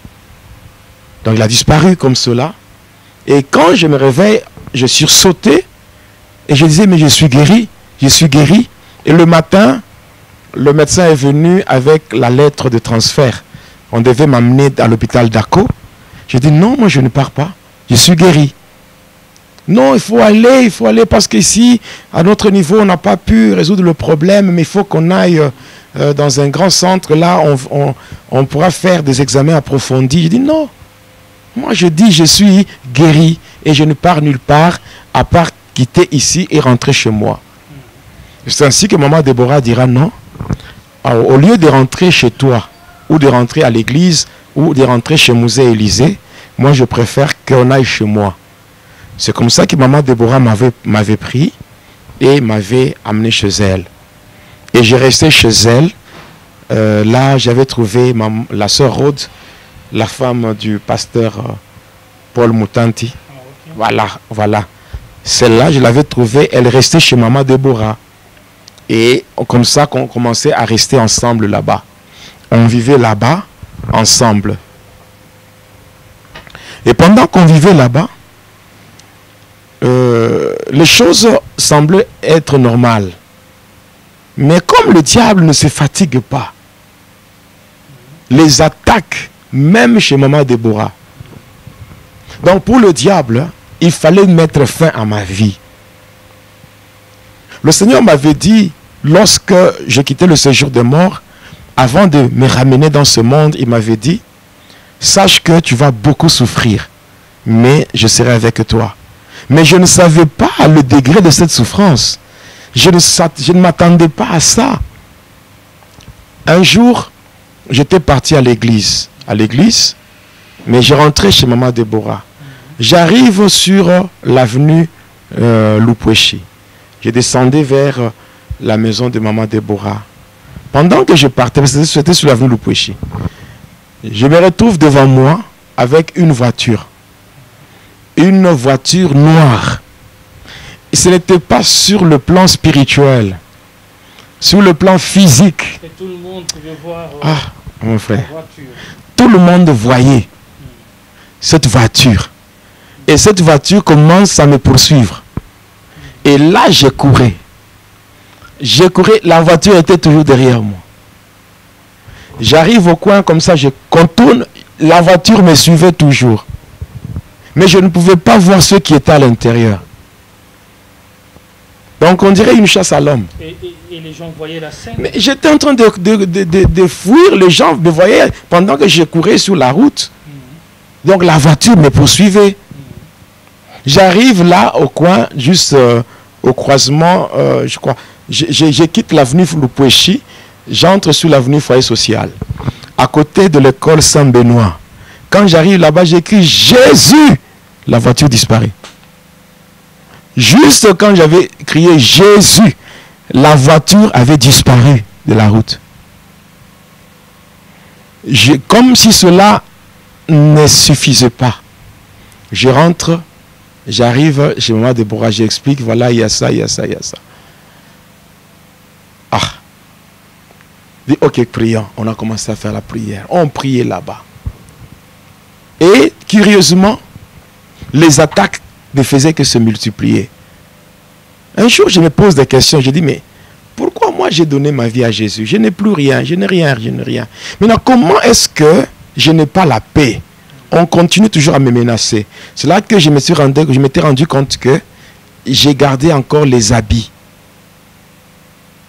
Vous voyez? Il y a beaucoup de gens qui quittent le diable. Mais en quittant le diable, ils restent avec les choses qui appartiennent à Satan. Même le Seigneur a dit quoi? Il a dit, le prince de ce monde vient. Mais en moi, il n'y a rien qui lui appartient. Donc quand on veut faire route ensemble avec le Seigneur, il faut vraiment se situer, se connaître et voir si on n'a rien qui appartient à l'ennemi. Parce que si vous gardez certaines choses qui appartiennent à l'ennemi, cela peut déclencher ce qu'on appelle le mystère de la réclamation diabolique. Jacob pouvait quitter euh, parce que, bon, oui, comment euh, Oui, Jacob, oui, pouvait quitter. Il pouvait quitter Laban. Quand Dieu s'était révélé à lui en lui disant, je suis le Dieu de Bethel, tout ça, n'est-ce pas? Il lui a dit de quitter. Mais lorsque Jacob quittait Laban, dans son convoi, il y avait sa femme, Rachel, qui avait volé le téraphim de son père. Et la présence de téraphim avait permis à Laban, Laban de, poursuivre, Jacob. Jacob pouvait avancer, mais à un moment donné, il va regarder derrière, il va voir qu'il était pourchassé. Tout simplement parce que Laban voulait récupérer ces téraphim. C'est comme ça que j'avais dit, un, prenez tout ce que j'ai comme habit. Brûlez tout. Tous les habits que vous aviez à ce temps-là Oui. J'avais des valises. J'avais des cartons de, de, de, souliers. Il y avait, il y avait euh, quelque chose, qu'est-ce que vous pensiez qu'il qu avoir dans... Mais toutes ces choses-là, je ne les avais pas gagnées par une voie, par, par une voie honnête. Tout ce que j'avais était diabolique. Tout ce que auprès de Satan. Voilà. Oui, oui. Alors j'avais, on avait dit non, Jonas, euh, nous devons seulement prier pour sanctifier ces histoires. Non, non. Je ne vous demande pas de prier. Moi, je vous demande de tout brûler. Et c'est comme ça que on avait pris mes habits, mes souliers. J'étais resté avec un seul pantalon, une seule chemise et un t-shirt et des babouches.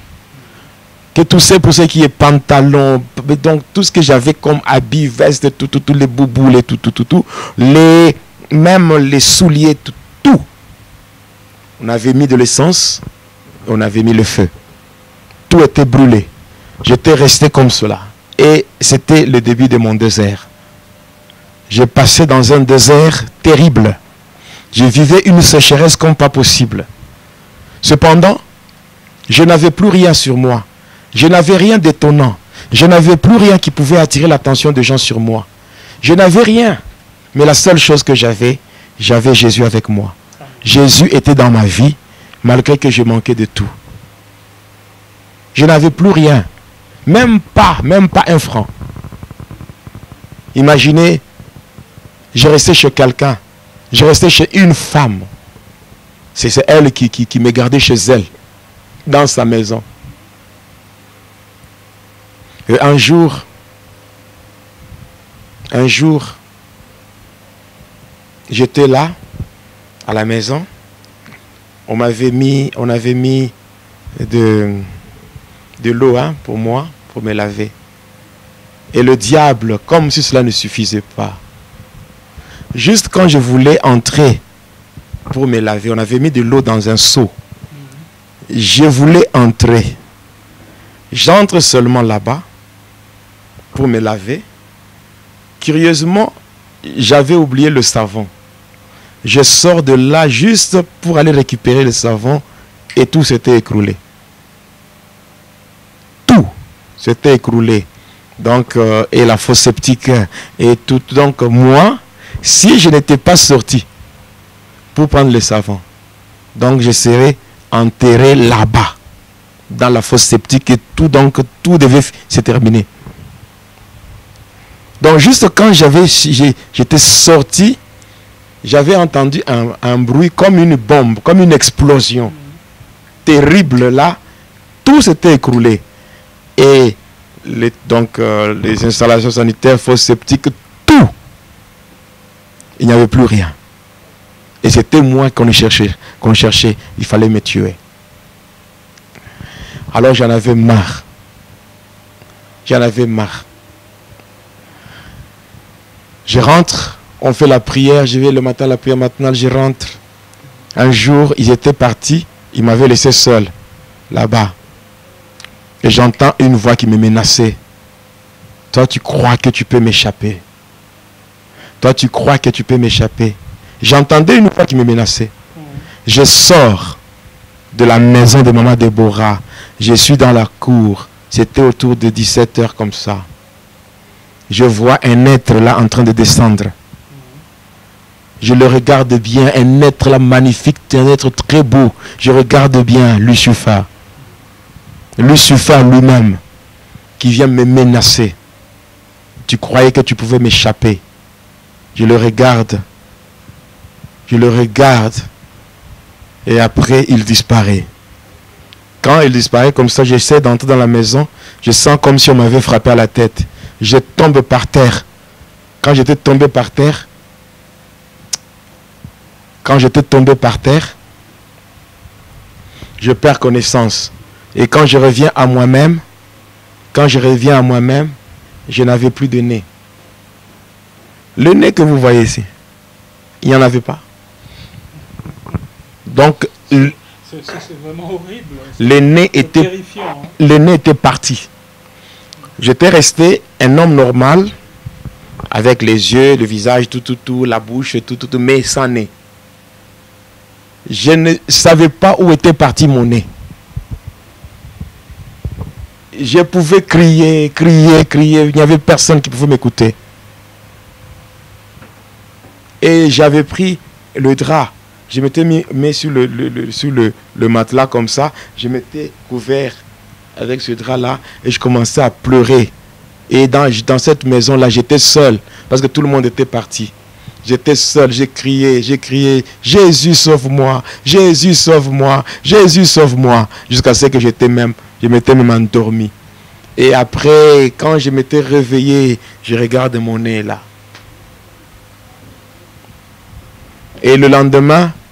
Alors ça a disparu juste après la prière et vous avez... Oui, quand j'ai crié là-bas, Jésus, sauve-moi, sauve-moi, sauve-moi. Donc le diable m'avait tellement fait des choses, m'avait rendu vraiment ridicule, au point que le diable faisait toutes ces choses-là, juste pour, pour que je puisse abandonner Jésus. Donc pour que je, pour que je puisse seulement comprendre que je ne peux pas échapper, je ne peux pas lui échapper, quoi que je fasse, il est toujours il est toujours au contrôle. Et le lendemain, nous étions sortis pour aller à la prière avec maman Déborah. On rentre, on prenait le petit déjeuner. Et tout d'un coup, là, je sors un peu, je prenais un peu de l'air, je reçois un coup. Je reçois un coup à la tête. Un coup de marteau. ah, ça, mon Dieu. Je reçois un coup de marteau ici. On me donne un coup. Je tombe par terre. On me ramène à la maison. Je commence à vomir le sang. Le sang. Je vomissais le sang. Et après, on essaie un peu de faire le pansement et tout, tout, tout. Je, je dors. Et après, le soir, je, sentais comme, hein, comme s'il y avait Hein, je sentais comme si j'avais des petits, boutons à la tête. Je dors. Le matin, mon frère, je me réveille. Ma tête complètement pourrie. Complètement pourrie. Vous voyez, a une tête pourrie. C'est comme ça que j'étais. Et ça, ça avait pris une durée de d'un mois des plaies à la tête. Mais euh, non, non, mais la tête pourrie, il y avait même des pus qui sortaient de ma tête.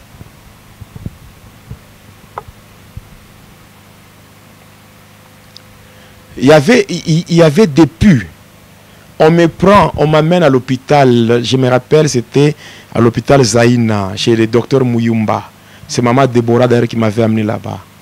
On arrive là-bas, oh non, il y a des, il y a des fironcles, il y a des ceci. On commence à me faire des expériences sur ma tête. On commence à faire des études sur ma tête. Partout. Il y avait des, des, qui sortaient, il y avait... Comment Donc, j'ai commencé à pourrir, mais en train de marcher. Et tout ça, le diable s'arrangeait par tout le moyen pour que je comprenne que c'est fini. La seule chose que j'ai à faire, c'est de retourner.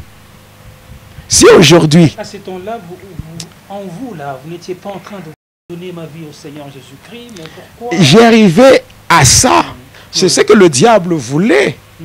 Il voulait à tout prix que je parvienne même à douter de Jésus. Que je me dise finalement, comment, comment est-ce que je peux souffrir comme ça? Si même aujourd'hui, il y a des fois, vous voyez, il y a des moments quand je parle sur ma délivrance, je fais couler de larmes.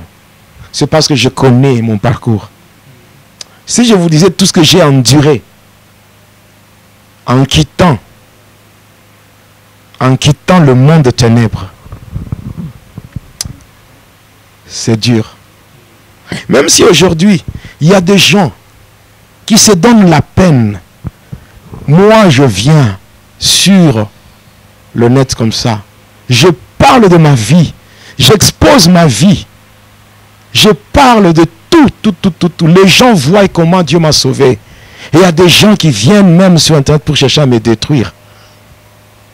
Le Seigneur me donne une vision, prions pour le monde après avoir étalé ma vie comme je le fais. Ah, papa, hein, mon frère. Vous, vous êtes avec moi à Lubumbashi. Vous savez par combien d'histoires je suis passé. Combien je souffre. Quand je parle aujourd'hui, les gens qui me suivent à travers YouTube, Facebook, tout, tout, tout, tout. Les gens eux, suivent de loin. Mais vous, vous êtes ici à Lubumbashi, vous, vous voyez ce que je suis en train d'endurer Oui. une personne comme moi, qui a souffert comme moi, vous voulez vous servir de cette personne pour, pour vous faire des noms. À part l'esprit du diable, je ne pense pas que ce soit un autre esprit qui peut utiliser les gens dans ce sens-là.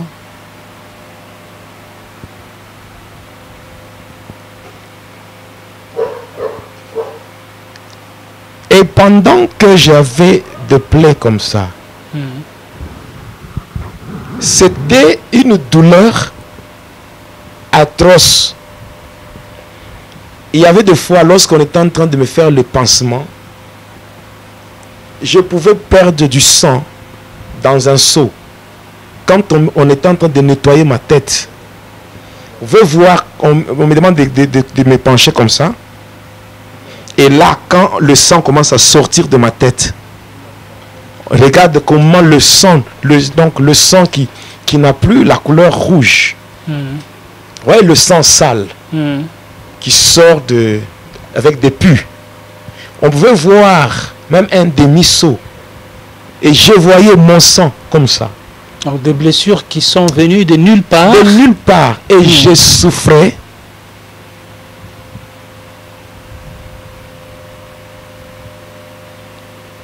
Je pouvais pleurer.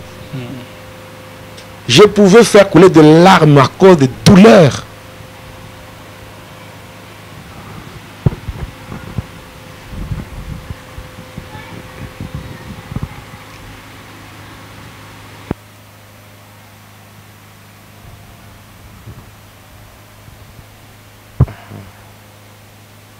Et à la fin, le docteur Muyumba dit non.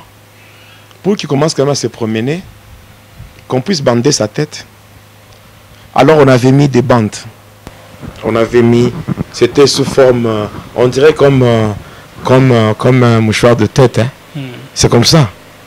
Et on devait changer ça chaque jour. Vous voyez, quand on vous met ça, vous vous promenez le matin, tout, tout, tout, vous promenez, vous vous promenez. euh, voilà, vous allez à l'église, vous rentrez. Quand vous rentrez, le lendemain matin, pour qu'on puisse vous enlever seulement ces bandages-là. Du moment que ces bandages se sont déjà collés hein, avec le plaies, tout ça, il fallait vous mettre de l'eau et commencer à détacher. Et pendant qu'on détachait, je ne sais pas si vous pouvez imaginer un peu la douleur que j'avais. Et cela pendant un mois. Mais malgré ces bandages-là que j'avais à la tête, je ne, je m'absentais pas à l'église.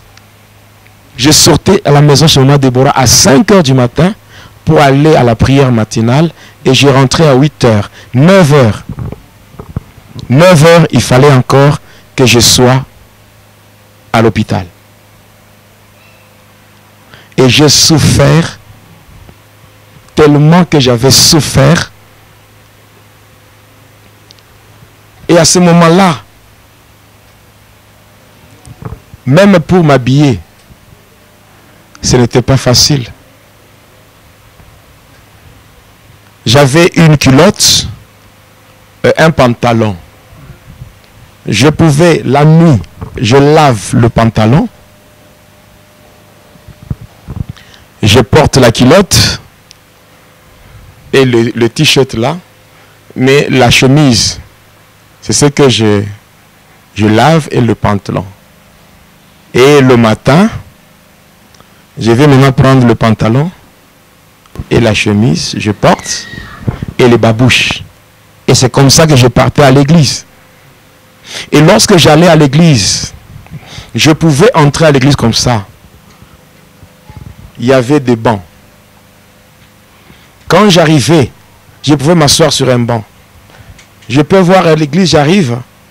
J'arrive là-bas à l'église. Je trouve sur un banc, il y a même 3-4 personnes. Dès que moi j'arrive, je m'assois là-bas. Toutes ces personnes se lèvent.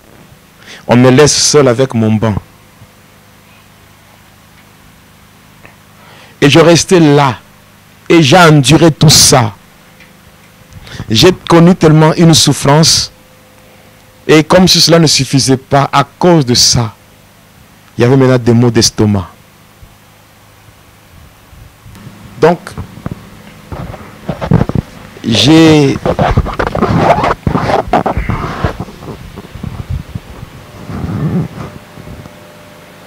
j'ai enduré tout ça. Mais malgré ça, je n'avais pas abandonné la foi. Je n'avais pas abandonné le Seigneur Jésus. Je n'avais même pas un seul jour renoncé à Jésus.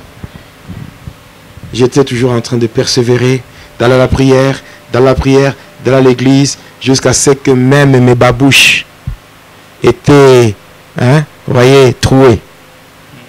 Je pouvais me promener avec des babouches trouées. Quand je porte des babouches comme ça, quelqu'un peut voir mon pied, mais il ne sait pas. Il ne sait pas en bas c'est comment. Mais en réalité, les babouches étaient trouées. Pendant que je marchais, il y avait des fois, je suis sur la route, vous me voyez avec de la poussière un peu partout là. Vous ne savez pas que c'est à, cause de, de trous qui sont en dessous de mes babouches.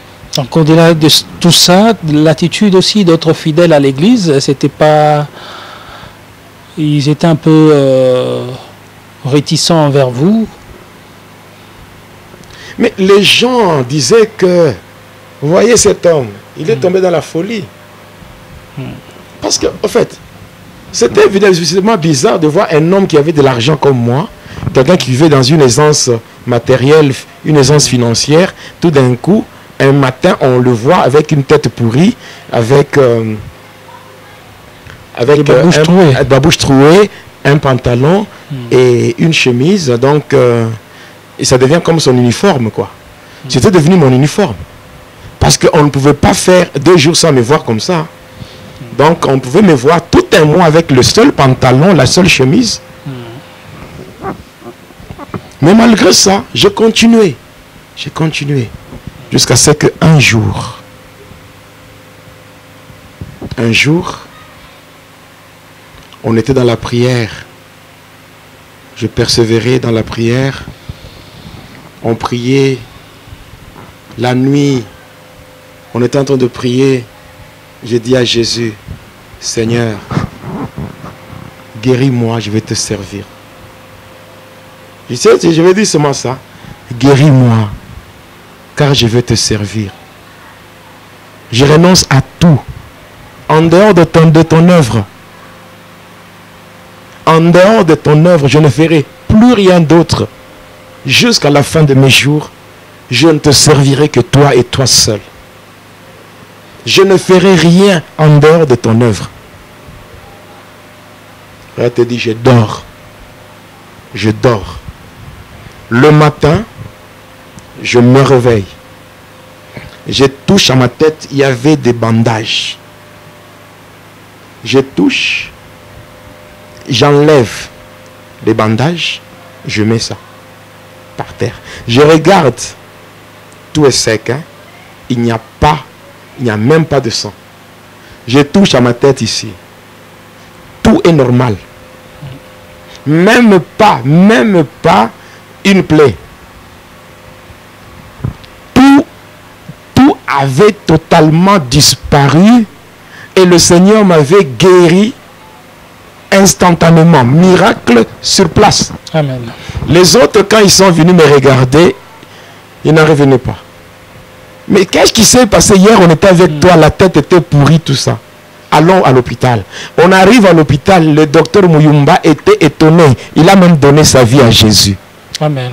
Ce jour-là, il dit, je n'ai jamais vu ça.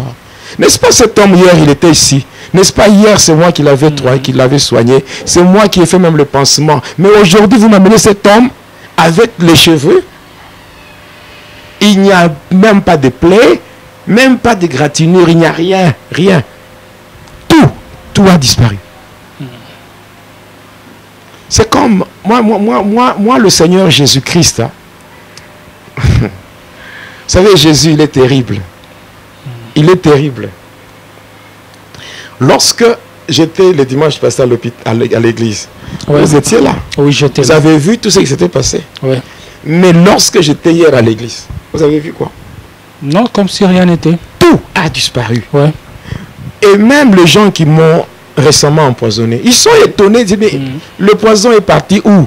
Parce que le dimanche euh, passé, là, lorsqu'on était avec vous, vous aviez du mal même à respirer. Même pour respirer, c'était impossible. Mhm. Même le souffle s- s'arrêtait. hein. La respiration s'arrêtait de soi par moment. Hmm. Voilà. Mais je suis là. Hmm. Je suis là. Je parle librement. Je parle, je parle. Je suis le jeudi dia de Dieu. Un homme aimé par Dieu. Et ça, personne ne peut le changer. Tel que je suis, Dieu m'aime. Il m'aime d'un amour que personne ne peut comprendre. Amen. Même moi-même, quand je parle, ça me dépasse. Ça me dépasse. Jésus a déjà fait des choses dans ma vie. Des choses qui dépassent même, même des satanistes sont dépassées. Imaginez la personne qui, m'a- qui avait tiré sur moi à bout portant. Avec un revolver comme ça. À Lubumbashi, ici sur Machu Picchu. Ouais, au niveau de Machu Picchu, là-bas. Mhm. Vous voyez Katuba. Oui, je vois. Mais il avait tiré sur moi comme ça, à bout pourtant, avec son revolver. Il tire, pam, pam, pam, pam. Les balles n'étaient pas entrées dans mon corps. Comme ça. C'est c'est pour tout dire, dire ceci. Tel que je suis, Jésus m'aime d'un amour impossible. Donc un amour que personne ne peut changer. Amen. Jésus m'aime. Moi, je suis un panneau publicitaire de l'amour de Dieu. Oui, je le répète encore, je suis un panneau publicitaire de l'amour de Dieu. L'amour de Dieu, le vrai amour, l'amour éternel, l'amour de Père, un amour, l'amour inconditionnel, cet amour, Jésus m'aime. Moi, Jonas. Les gens m'ont fait la guerre comme pas possible. Mais ils n'ont jamais gagné. Jamais. Je suis devenu une pierre d'achoppement pour tous ceux-là qui, qui, qui- qui servent le diable. Ils peuvent faire tout, mais quand dès, dès qu'ils arrivent vers moi, leurs efforts sont toujours couronnés d'échecs. Amen. Voilà. Et aujourd'hui, je témoigne je dis Jésus-Christ m'aime. Amen. Il m'aime, il m'aime, il m'aime, il m'aime. Alors, euh, un conseil gratuit que je vais donner à mes détracteurs, arrêtez, parce que vous ne connaissez pas d'où je viens et vous ne connaissez pas l'alliance que j'ai avec le Seigneur. Vous ne connaissez rien de moi. Alors arrêtez, parce que même le diable ne peut pas me vaincre. Si Dieu est pour moi, qui sera contre moi? Ils me feront la guerre, mais ils ne me vaincront pas. J'ai un message à véhiculer. J'ai un message à transmettre au monde. J'ai un message, un message qui pousse les gens à gagner le ciel et à éviter l'enfer. Voilà. Aujourd'hui, il y a des gens qui prêchent pour se faire des noms. Il y a des gens qui prêchent pour qu'on leur jette des fleurs ou qu'on leur fasse des éloges. Là, moi, je ne suis pas là. Je ne suis pas de ce côté-là. Moi, je prêche Jésus pour que les gens croient que le Seigneur Jésus existe. Amen. Que les gens comprennent que sans Jésus, la vie n'a pas de sens. C'est seulement lorsque tu fais, lorsque tu donnes ta vie à Jésus, lui en faisant son entrée dans ta vie, c'est lui qui vient donner un sens à ton existence. Parce que sans Jésus, on existe, mais avec Jésus, on vit. Donc sans Jésus, on peut exister. Avec Mais Jésus, avec Jésus, on vit. Parce que lui-même, Jésus, il est la vie. Il a dit, voici, je suis le chemin, la, vérité, et la vie. Nul ne peut venir au Père que par Jésus. Hmm. Donc, bref, je, je, je le dis encore au jour d'aujourd'hui. Moi, j'ai été au service de Satan. J'avais le contrôle de neuf cimetières. C'est-à-dire que quand j'arrive quelque part, quel que soit le lieu que- où j'arrive, automatiquement j'ai le pouvoir de contrôler neuf cimetières. Je faisais des choses horribles. Il y a certaines choses que même certains pasteurs qui sont dans l'occultisme n'ont jamais fait. Il y a des gens qui ne connaissent même pas les pratiques sataniques. Il y a des gens qui sont dans l'occultisme mais qui n'ont jamais atteint le niveau que j'avais atteint. Et aujourd'hui, je me moque. Je me moque du diable. Je me moque des satanistes et je leur dis, tout ce qu'ils font là, c'est une perte de temps. Le salut est en Jésus. En Jésus et en Jésus seul. La vraie vie, c'est en Jésus-Christ. Amen. Les gens qui se contentent de traîner encore dans le péché, de vivre encore dans du n'importe quoi, vous perdez votre temps. Alors, au nom de Jésus, au nom de Jésus, j'ai évolué. J'ai évolué comme cela. Et je partais à l'église. euh, J'étais entré dans l'intercession. J'étais devenu un intercesseur. Et là, il était maintenant question d'aller maintenant enlever le fétiche que j'avais placé ça et là. Premièrement, il fallait aller au cimetière de Sapin. Comme je contrôle le cimetière de Sapin, il fallait aller encore là-bas.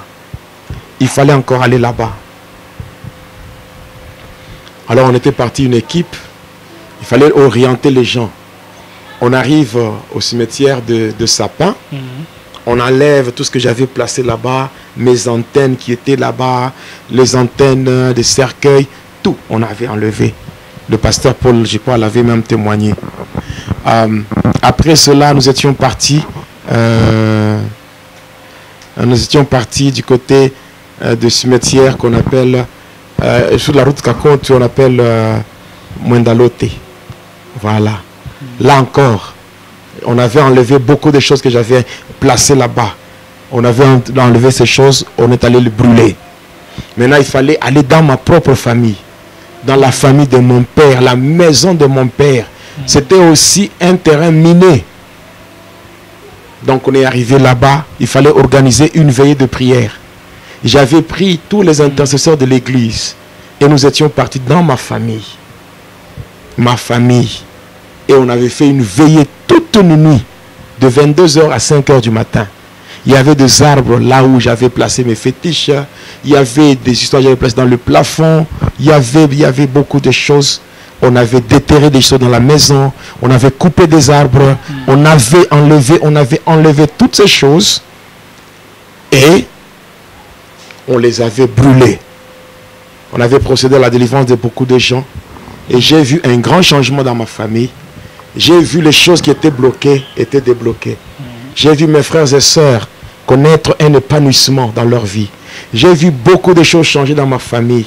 Donc j'ai vu la paix s'installer dans ma famille. Non, on dirait qu'avec euh, toutes le- les forces occultes que vous aviez, Ouais. ça, ça constituait un frein au développement de votre famille. Bon, parce que j'étais un agent de ténèbres. Ma présence, ma présence, même si je ne faisais pas de sacrifice dans ma famille, mais le fait seulement de vivre avec eux dans une même famille, dans une même maison, par moment, donc, il y avait, il y avait un contrôle spirituel qui pouvait s'exercer sur ma famille. Donc, euh, et voilà, j'ai appliqué ce que la Bible dit, crois au Seigneur Jésus-Christ, Tu seras tu seras sauvé. sauvé, toi et ta famille. Mm. Aujourd'hui, mon père, qui était loin de moi, aujourd'hui, mon père, bon, je pense que vous-même, vous pouvez le témoigner. Oh oui. Quand nous partons à l'Ikassi, mon père, euh, c'est. Donc, euh, euh, aujourd'hui, quand vous me voyez avec mon père, vous allez croire que c'était, c'est mon ami. Oui. Ma famille, mes frères et sœurs, je suis en bon terme avec tout le monde. Mm, oui. Il y a quelqu'un qui était passé pour dire que non, moi j'étais abandonné, rejeté par ma famille. Vous, vous étiez avec moi à l'Ikassi. Mm. Nous étions partis dernièrement Oui, au mariage, au de la mariage jeune de, sœur. jeune sœur. Ah, bon, Mm. quand nous étions là, vous m'avez vu moi rejeté. Non, non, vous étiez bien accueilli, Voilà, avec euh, respect et amour. voilà, Oui. voilà. Et aujourd'hui, toute ma famille a cru en mon Dieu. Toute ma famille me reconnaît en tant que serviteur de Dieu. Mm. Donc ma famille reconnaît la, la grâce que Dieu m'a accordée. Et aujourd'hui, je suis en paix avec ma famille. Mais cependant, le combat continue. Le combat continue parce que euh, celui qui cherchera à vivre pieusement dans le Seigneur sera toujours combattu. Et le Seigneur a dit, vous serez persécutés à cause de mon nom. Donc le combat continue, les attaques continuent, mais la Bible déclare, c'est lui qui va persévérer jusqu'à la fin sera sauvé. Ici maintenant, c'est une question de persévérance. Ici maintenant, c'est une question de faire le bon combat de la foi. N'est-ce pas? Mm. Donc faire le bon combat de la foi. Donc continuer comme cela, le combat. Parce que notre degré de sanctification ou de sainteté ne fait pas ce que nous soyons euh, à l'abri des problèmes. Parce que la Bible déclare dans le psaume 34, le verset 20, la Bible déclare que le malheur atteint souvent les justes, mais l'Éternel l'en délivre toujours. Donc il y a toujours des défis à relever. Il y a des problèmes qui peuvent arriver dans nos vies, mais cependant, étant attachés au Seigneur Jésus-Christ, on continue à vivre et à faire la volonté de Dieu. Je ne sais pas si à ce niveau vous avez des questions à poser, euh, vous personnes particulièrement. Alors euh, là, je me dis, euh, à quel moment vous vous étiez senti vraiment euh, totalement libéré et sous une couverture totale des dieux Bon, après avoir détruit, après avoir récupéré tous les fétiches que j'avais placés dans différents endroits, dans des cimetières, dans, des, dans la parcelle familiale, dans la maison. Donc quand toutes ces choses-là avaient été récupérées, brûlées, et là je me suis ressenti vraiment déconnecté totalement. hein, déconnecté totalement. Il y a quelqu'un qui donne sa vie à Jésus, n'est-ce pas? On donne sa vie à Jésus. On marche dans une nouveauté de vie. Mais s'il y a encore des choses qui appartiennent à l'ennemi que vous continuez à garder, ça permet à l'ennemi de vous réclamer. De venir réclamer ce qui lui revient de droit. Alors c'est comme ça que le diable pouvait, par moment, chercher à passer par certaines choses pour m'atteindre.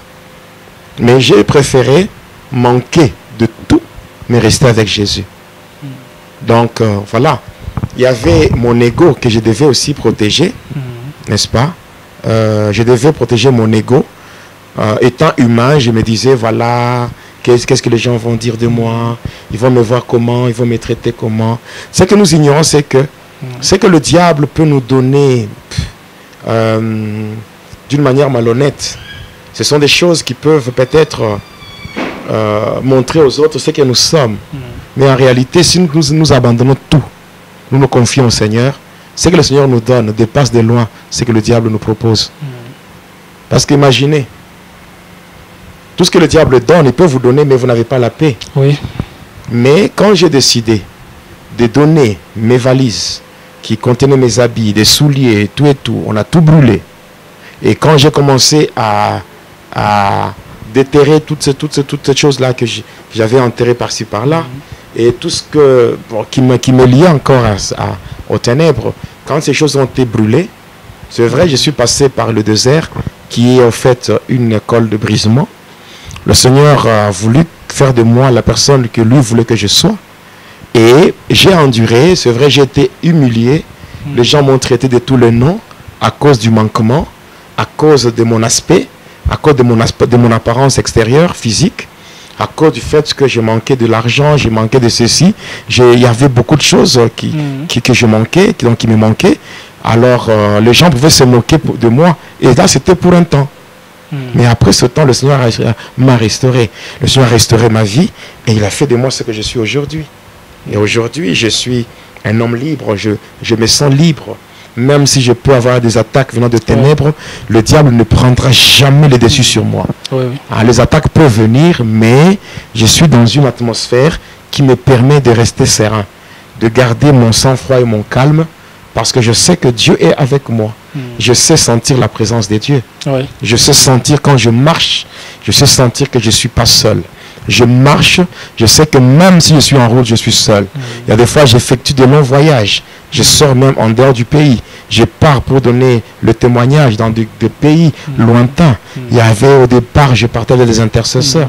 Et, mais pour le moment, je pars seul.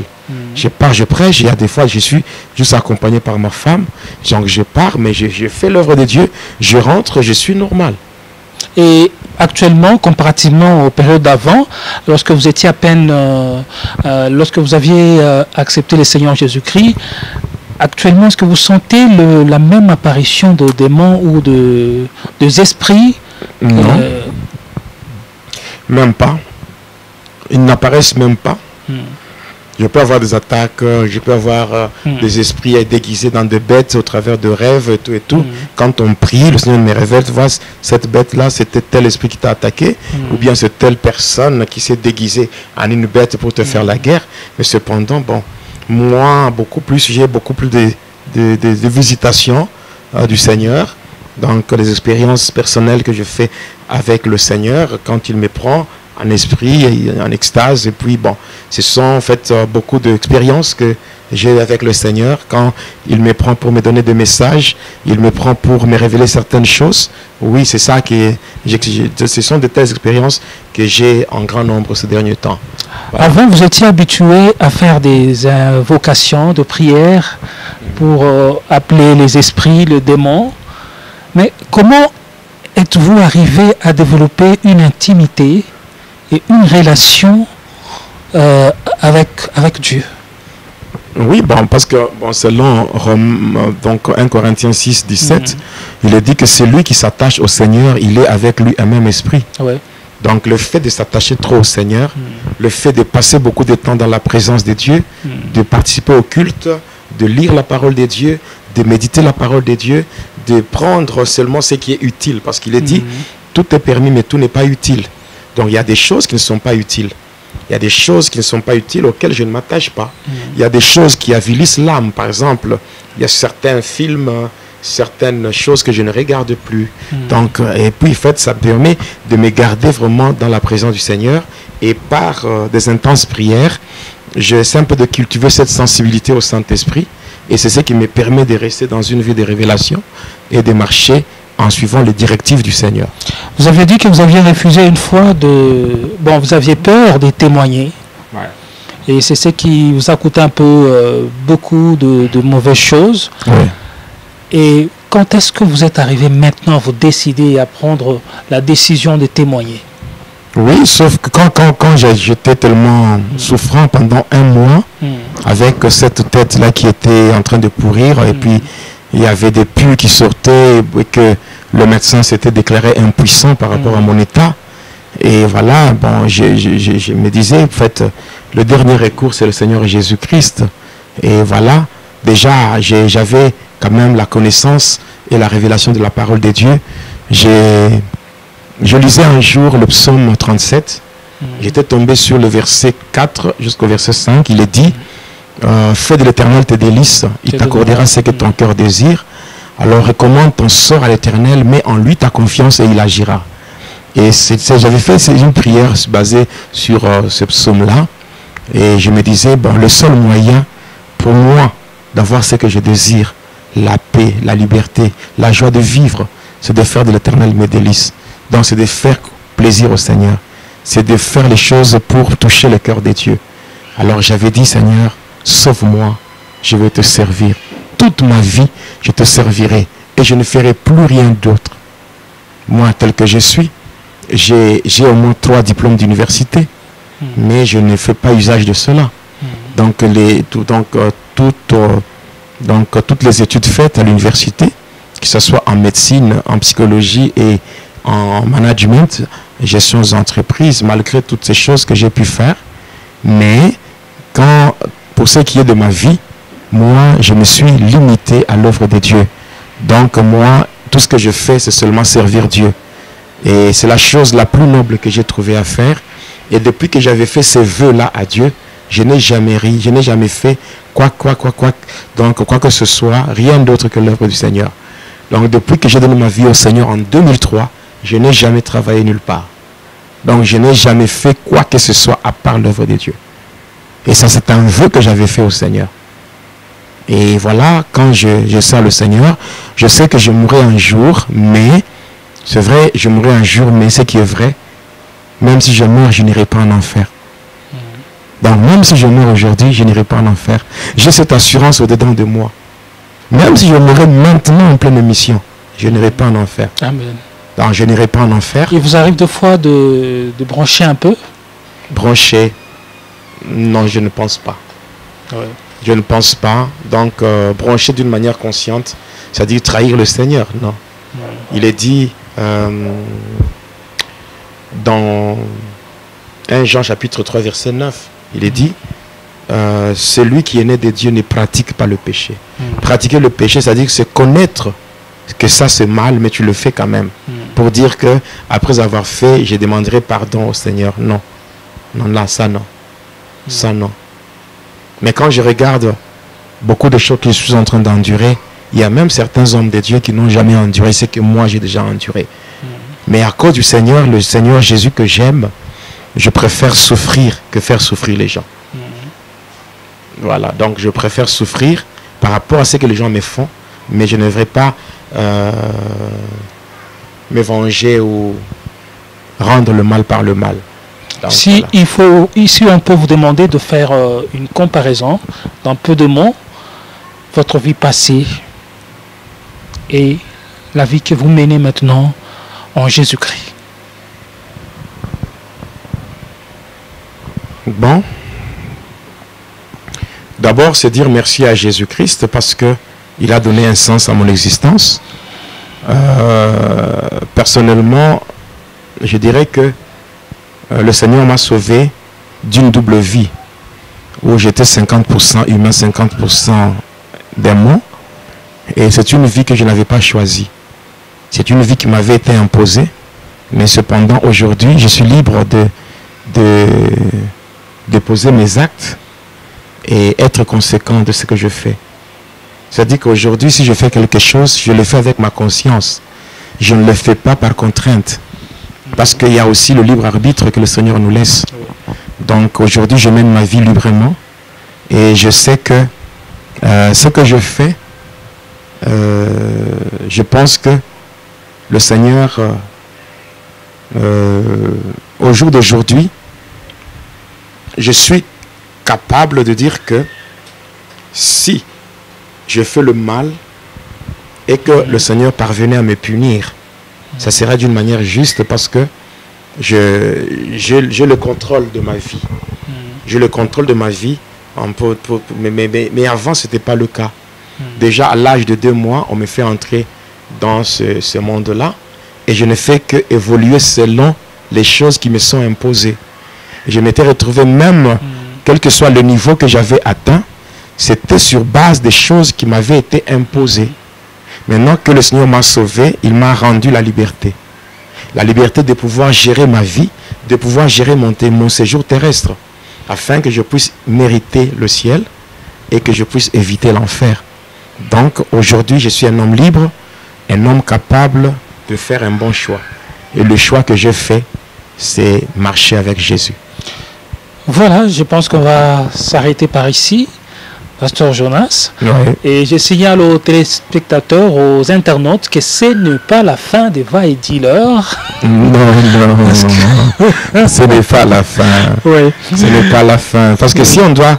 euh, Il y a, a d'autres choses que je voulais ajouter aujourd'hui, mais je me suis dit Oui. que si on doit commencer, euh, ça va encore nous faire entrer dans le numéro 56. Ah, ok. Ah, ça va nous faire entrer dans le numéro 56.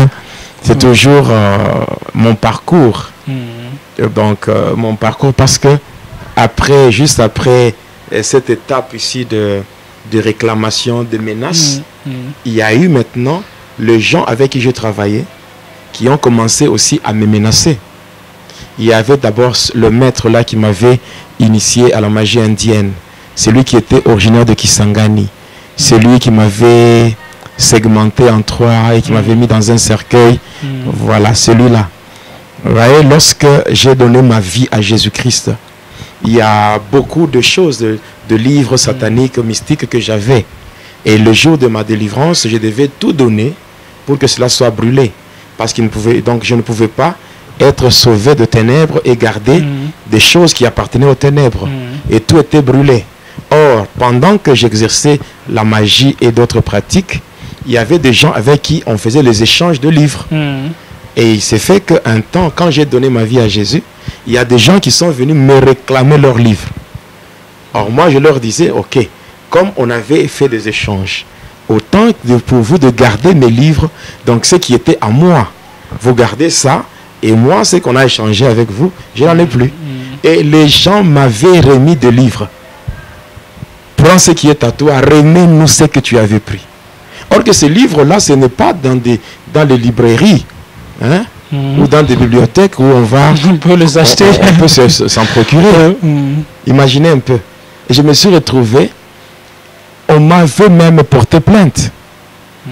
J'ai passé des moments au cachot. On m'arrête parce que je me dis, bon, on m'arrête, j'ai d'entendre au cachot. On me dit, tu, reconnais telle personne? Oui. Tu reconnais avoir pris son, telle, telle histoire qui lui appartient? Je dis, oui. Remets. Je dis, je n'en ai pas. Et on me laisse au cachot. Imaginez que la personne me laisse au cachot, mais la personne part avec le soi-disant livre que moi je lui avais donné, mais comme je n'ai pas son livre à, re- à remettre, Hmm. moi on me garde au cachot. Il y avait des fois, je pouvais faire même trois jours au cachot. Et au cachot, je suis là au cachot, je ne mange rien. Hein? Je ne mange rien. Je ne bois rien. Pendant trois jours en train de prier. Et je vois les prisonniers, les détenus qui étaient avec moi donner leur vie à Jésus au cachot. Donc il y avait des fois, le Seigneur m'envoie, pouvait me mettre, permettre à ce que Ah, je là, sois au là- cachot. là, je pense avec euh, euh, Pasteur Jonas, je pense que ça, tellement que vous commencez, je vois qu'il y y a beaucoup de choses, Oui. vu le temps. Oui. Alors c'est moi qui ai, qui Donc, qui, il y a, qui il y a- ai il y a voulu- tellement beaucoup de euh, choses. Expliqué. Là, je pense que le lundi prochain, Oui, le lundi prochain, oui. parce qu'on a pris le programme, donc chaque lundi c'est va et dealer. C'est va et dis-leur. Le mercredi, Hmm. le mercredi, euh, euh, le pasteur Jonas vous écoute. Ouais. Et là, je signale déjà que toutes les questions, vous avez aussi suivi le numéro d'aujourd'hui ou d'autres numéros. Réservez vos questions pour euh, le mercredi. Pour le mercredi à 12h. Le mercredi à 12h, on sera là en direct. De 12h à, à 14h, heure de Lubumbashi, ou 2 heures de moins en temps universel. oui, oui, par rapport au. GMT. Oui. Voilà, donc euh, on sera là le mercredi et je signale déjà Hmm. euh, par rapport euh, à tous ceux qui ont intégré le groupe Prions pour le monde, Oui. euh, restez calme, serein. Et il y a une restructuration que nous sommes en train de faire Hmm. par rapport au programme. Hmm. Donc, euh, vous êtes, euh, vous êtes euh, de Prions pour le monde. Ce que vous pouvez faire, c'est télécharger à partir de Play Store, Hmm. télécharger l'application Microsoft Teams.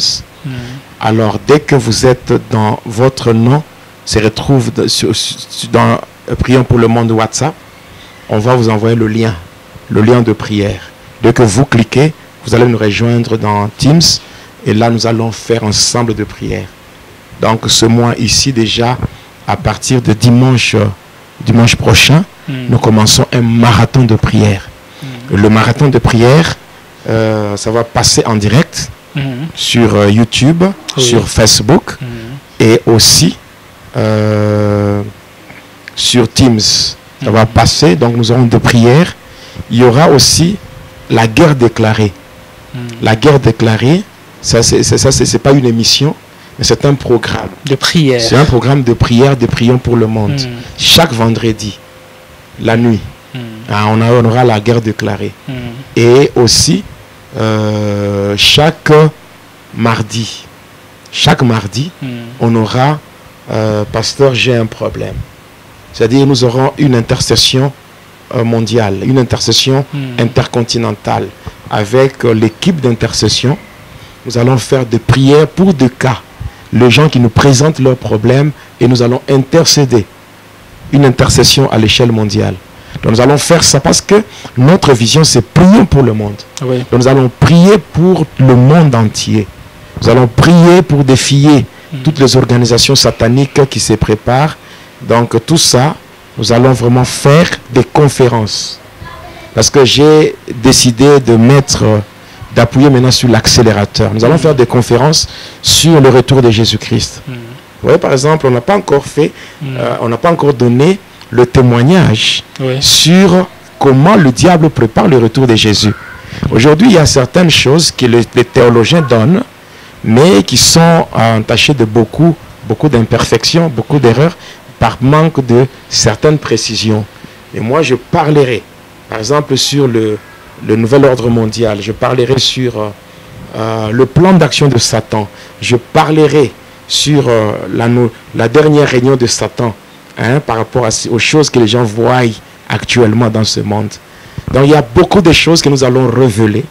Et vous comprendrez que le pasteur Jonas c'est un messager, un messager de Dieu, un messager en ce temps ici, en ce temps pour éclairer les enfants de Dieu, enlever toutes les zones d'ombre et permettre aux enfants de Dieu de rester sur le droit chemin, permettre aux enfants de Dieu de gagner le ciel et d'éviter l'enfer.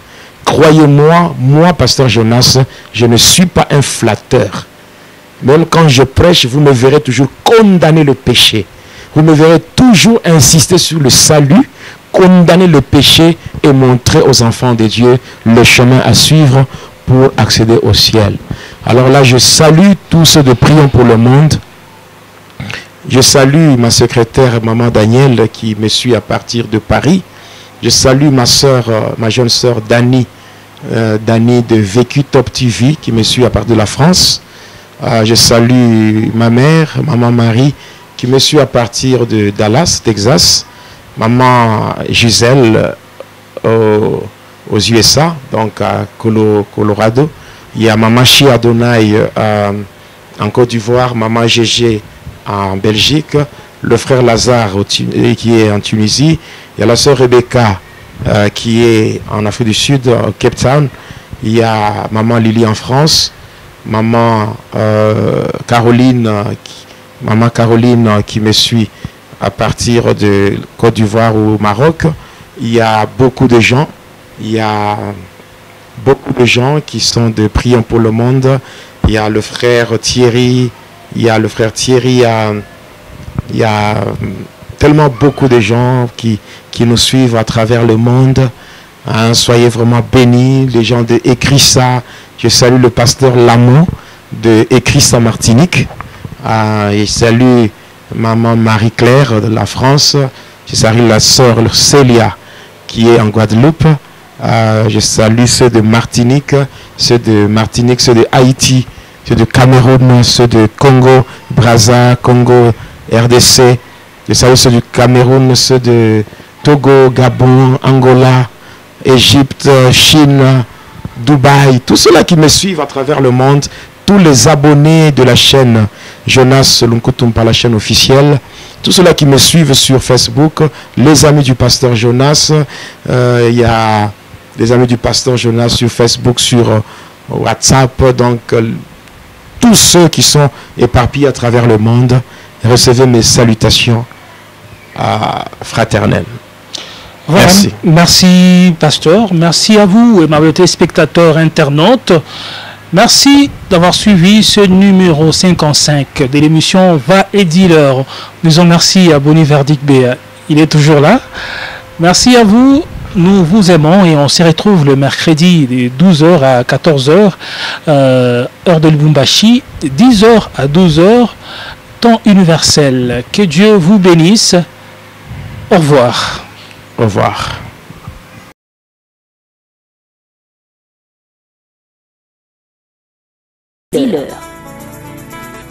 Va et Dealer, c'est l'histoire d'une vie transformée par Jésus-Christ après avoir servi le diable pendant 25 ans. Va et Dealer, c'est l'histoire du pasteur Jonas Lonkutumpala Yedidia, aujourd'hui serviteur de Dieu, jadis sataniste. Hormis le témoignage du pasteur Jonas, plusieurs thématiques seront abordées dans différents numéros de cette émission. Pour ne rien rater, abonnez-vous sur votre chaîne Jonas Lonkutumpa, la chaîne officielle. N'hésitez pas à liker la vidéo si elle vous plaît et si vous êtes nouveau sur la chaîne, n'oubliez pas de vous abonner et d'activer la notification pour ne rater aucune de nos prochaines vidéos. N'hésitez pas à liker la vidéo si elle vous plaît et si vous êtes nouveau sur la chaîne, n'oubliez pas de vous abonner et d'activer la notification pour ne rater aucune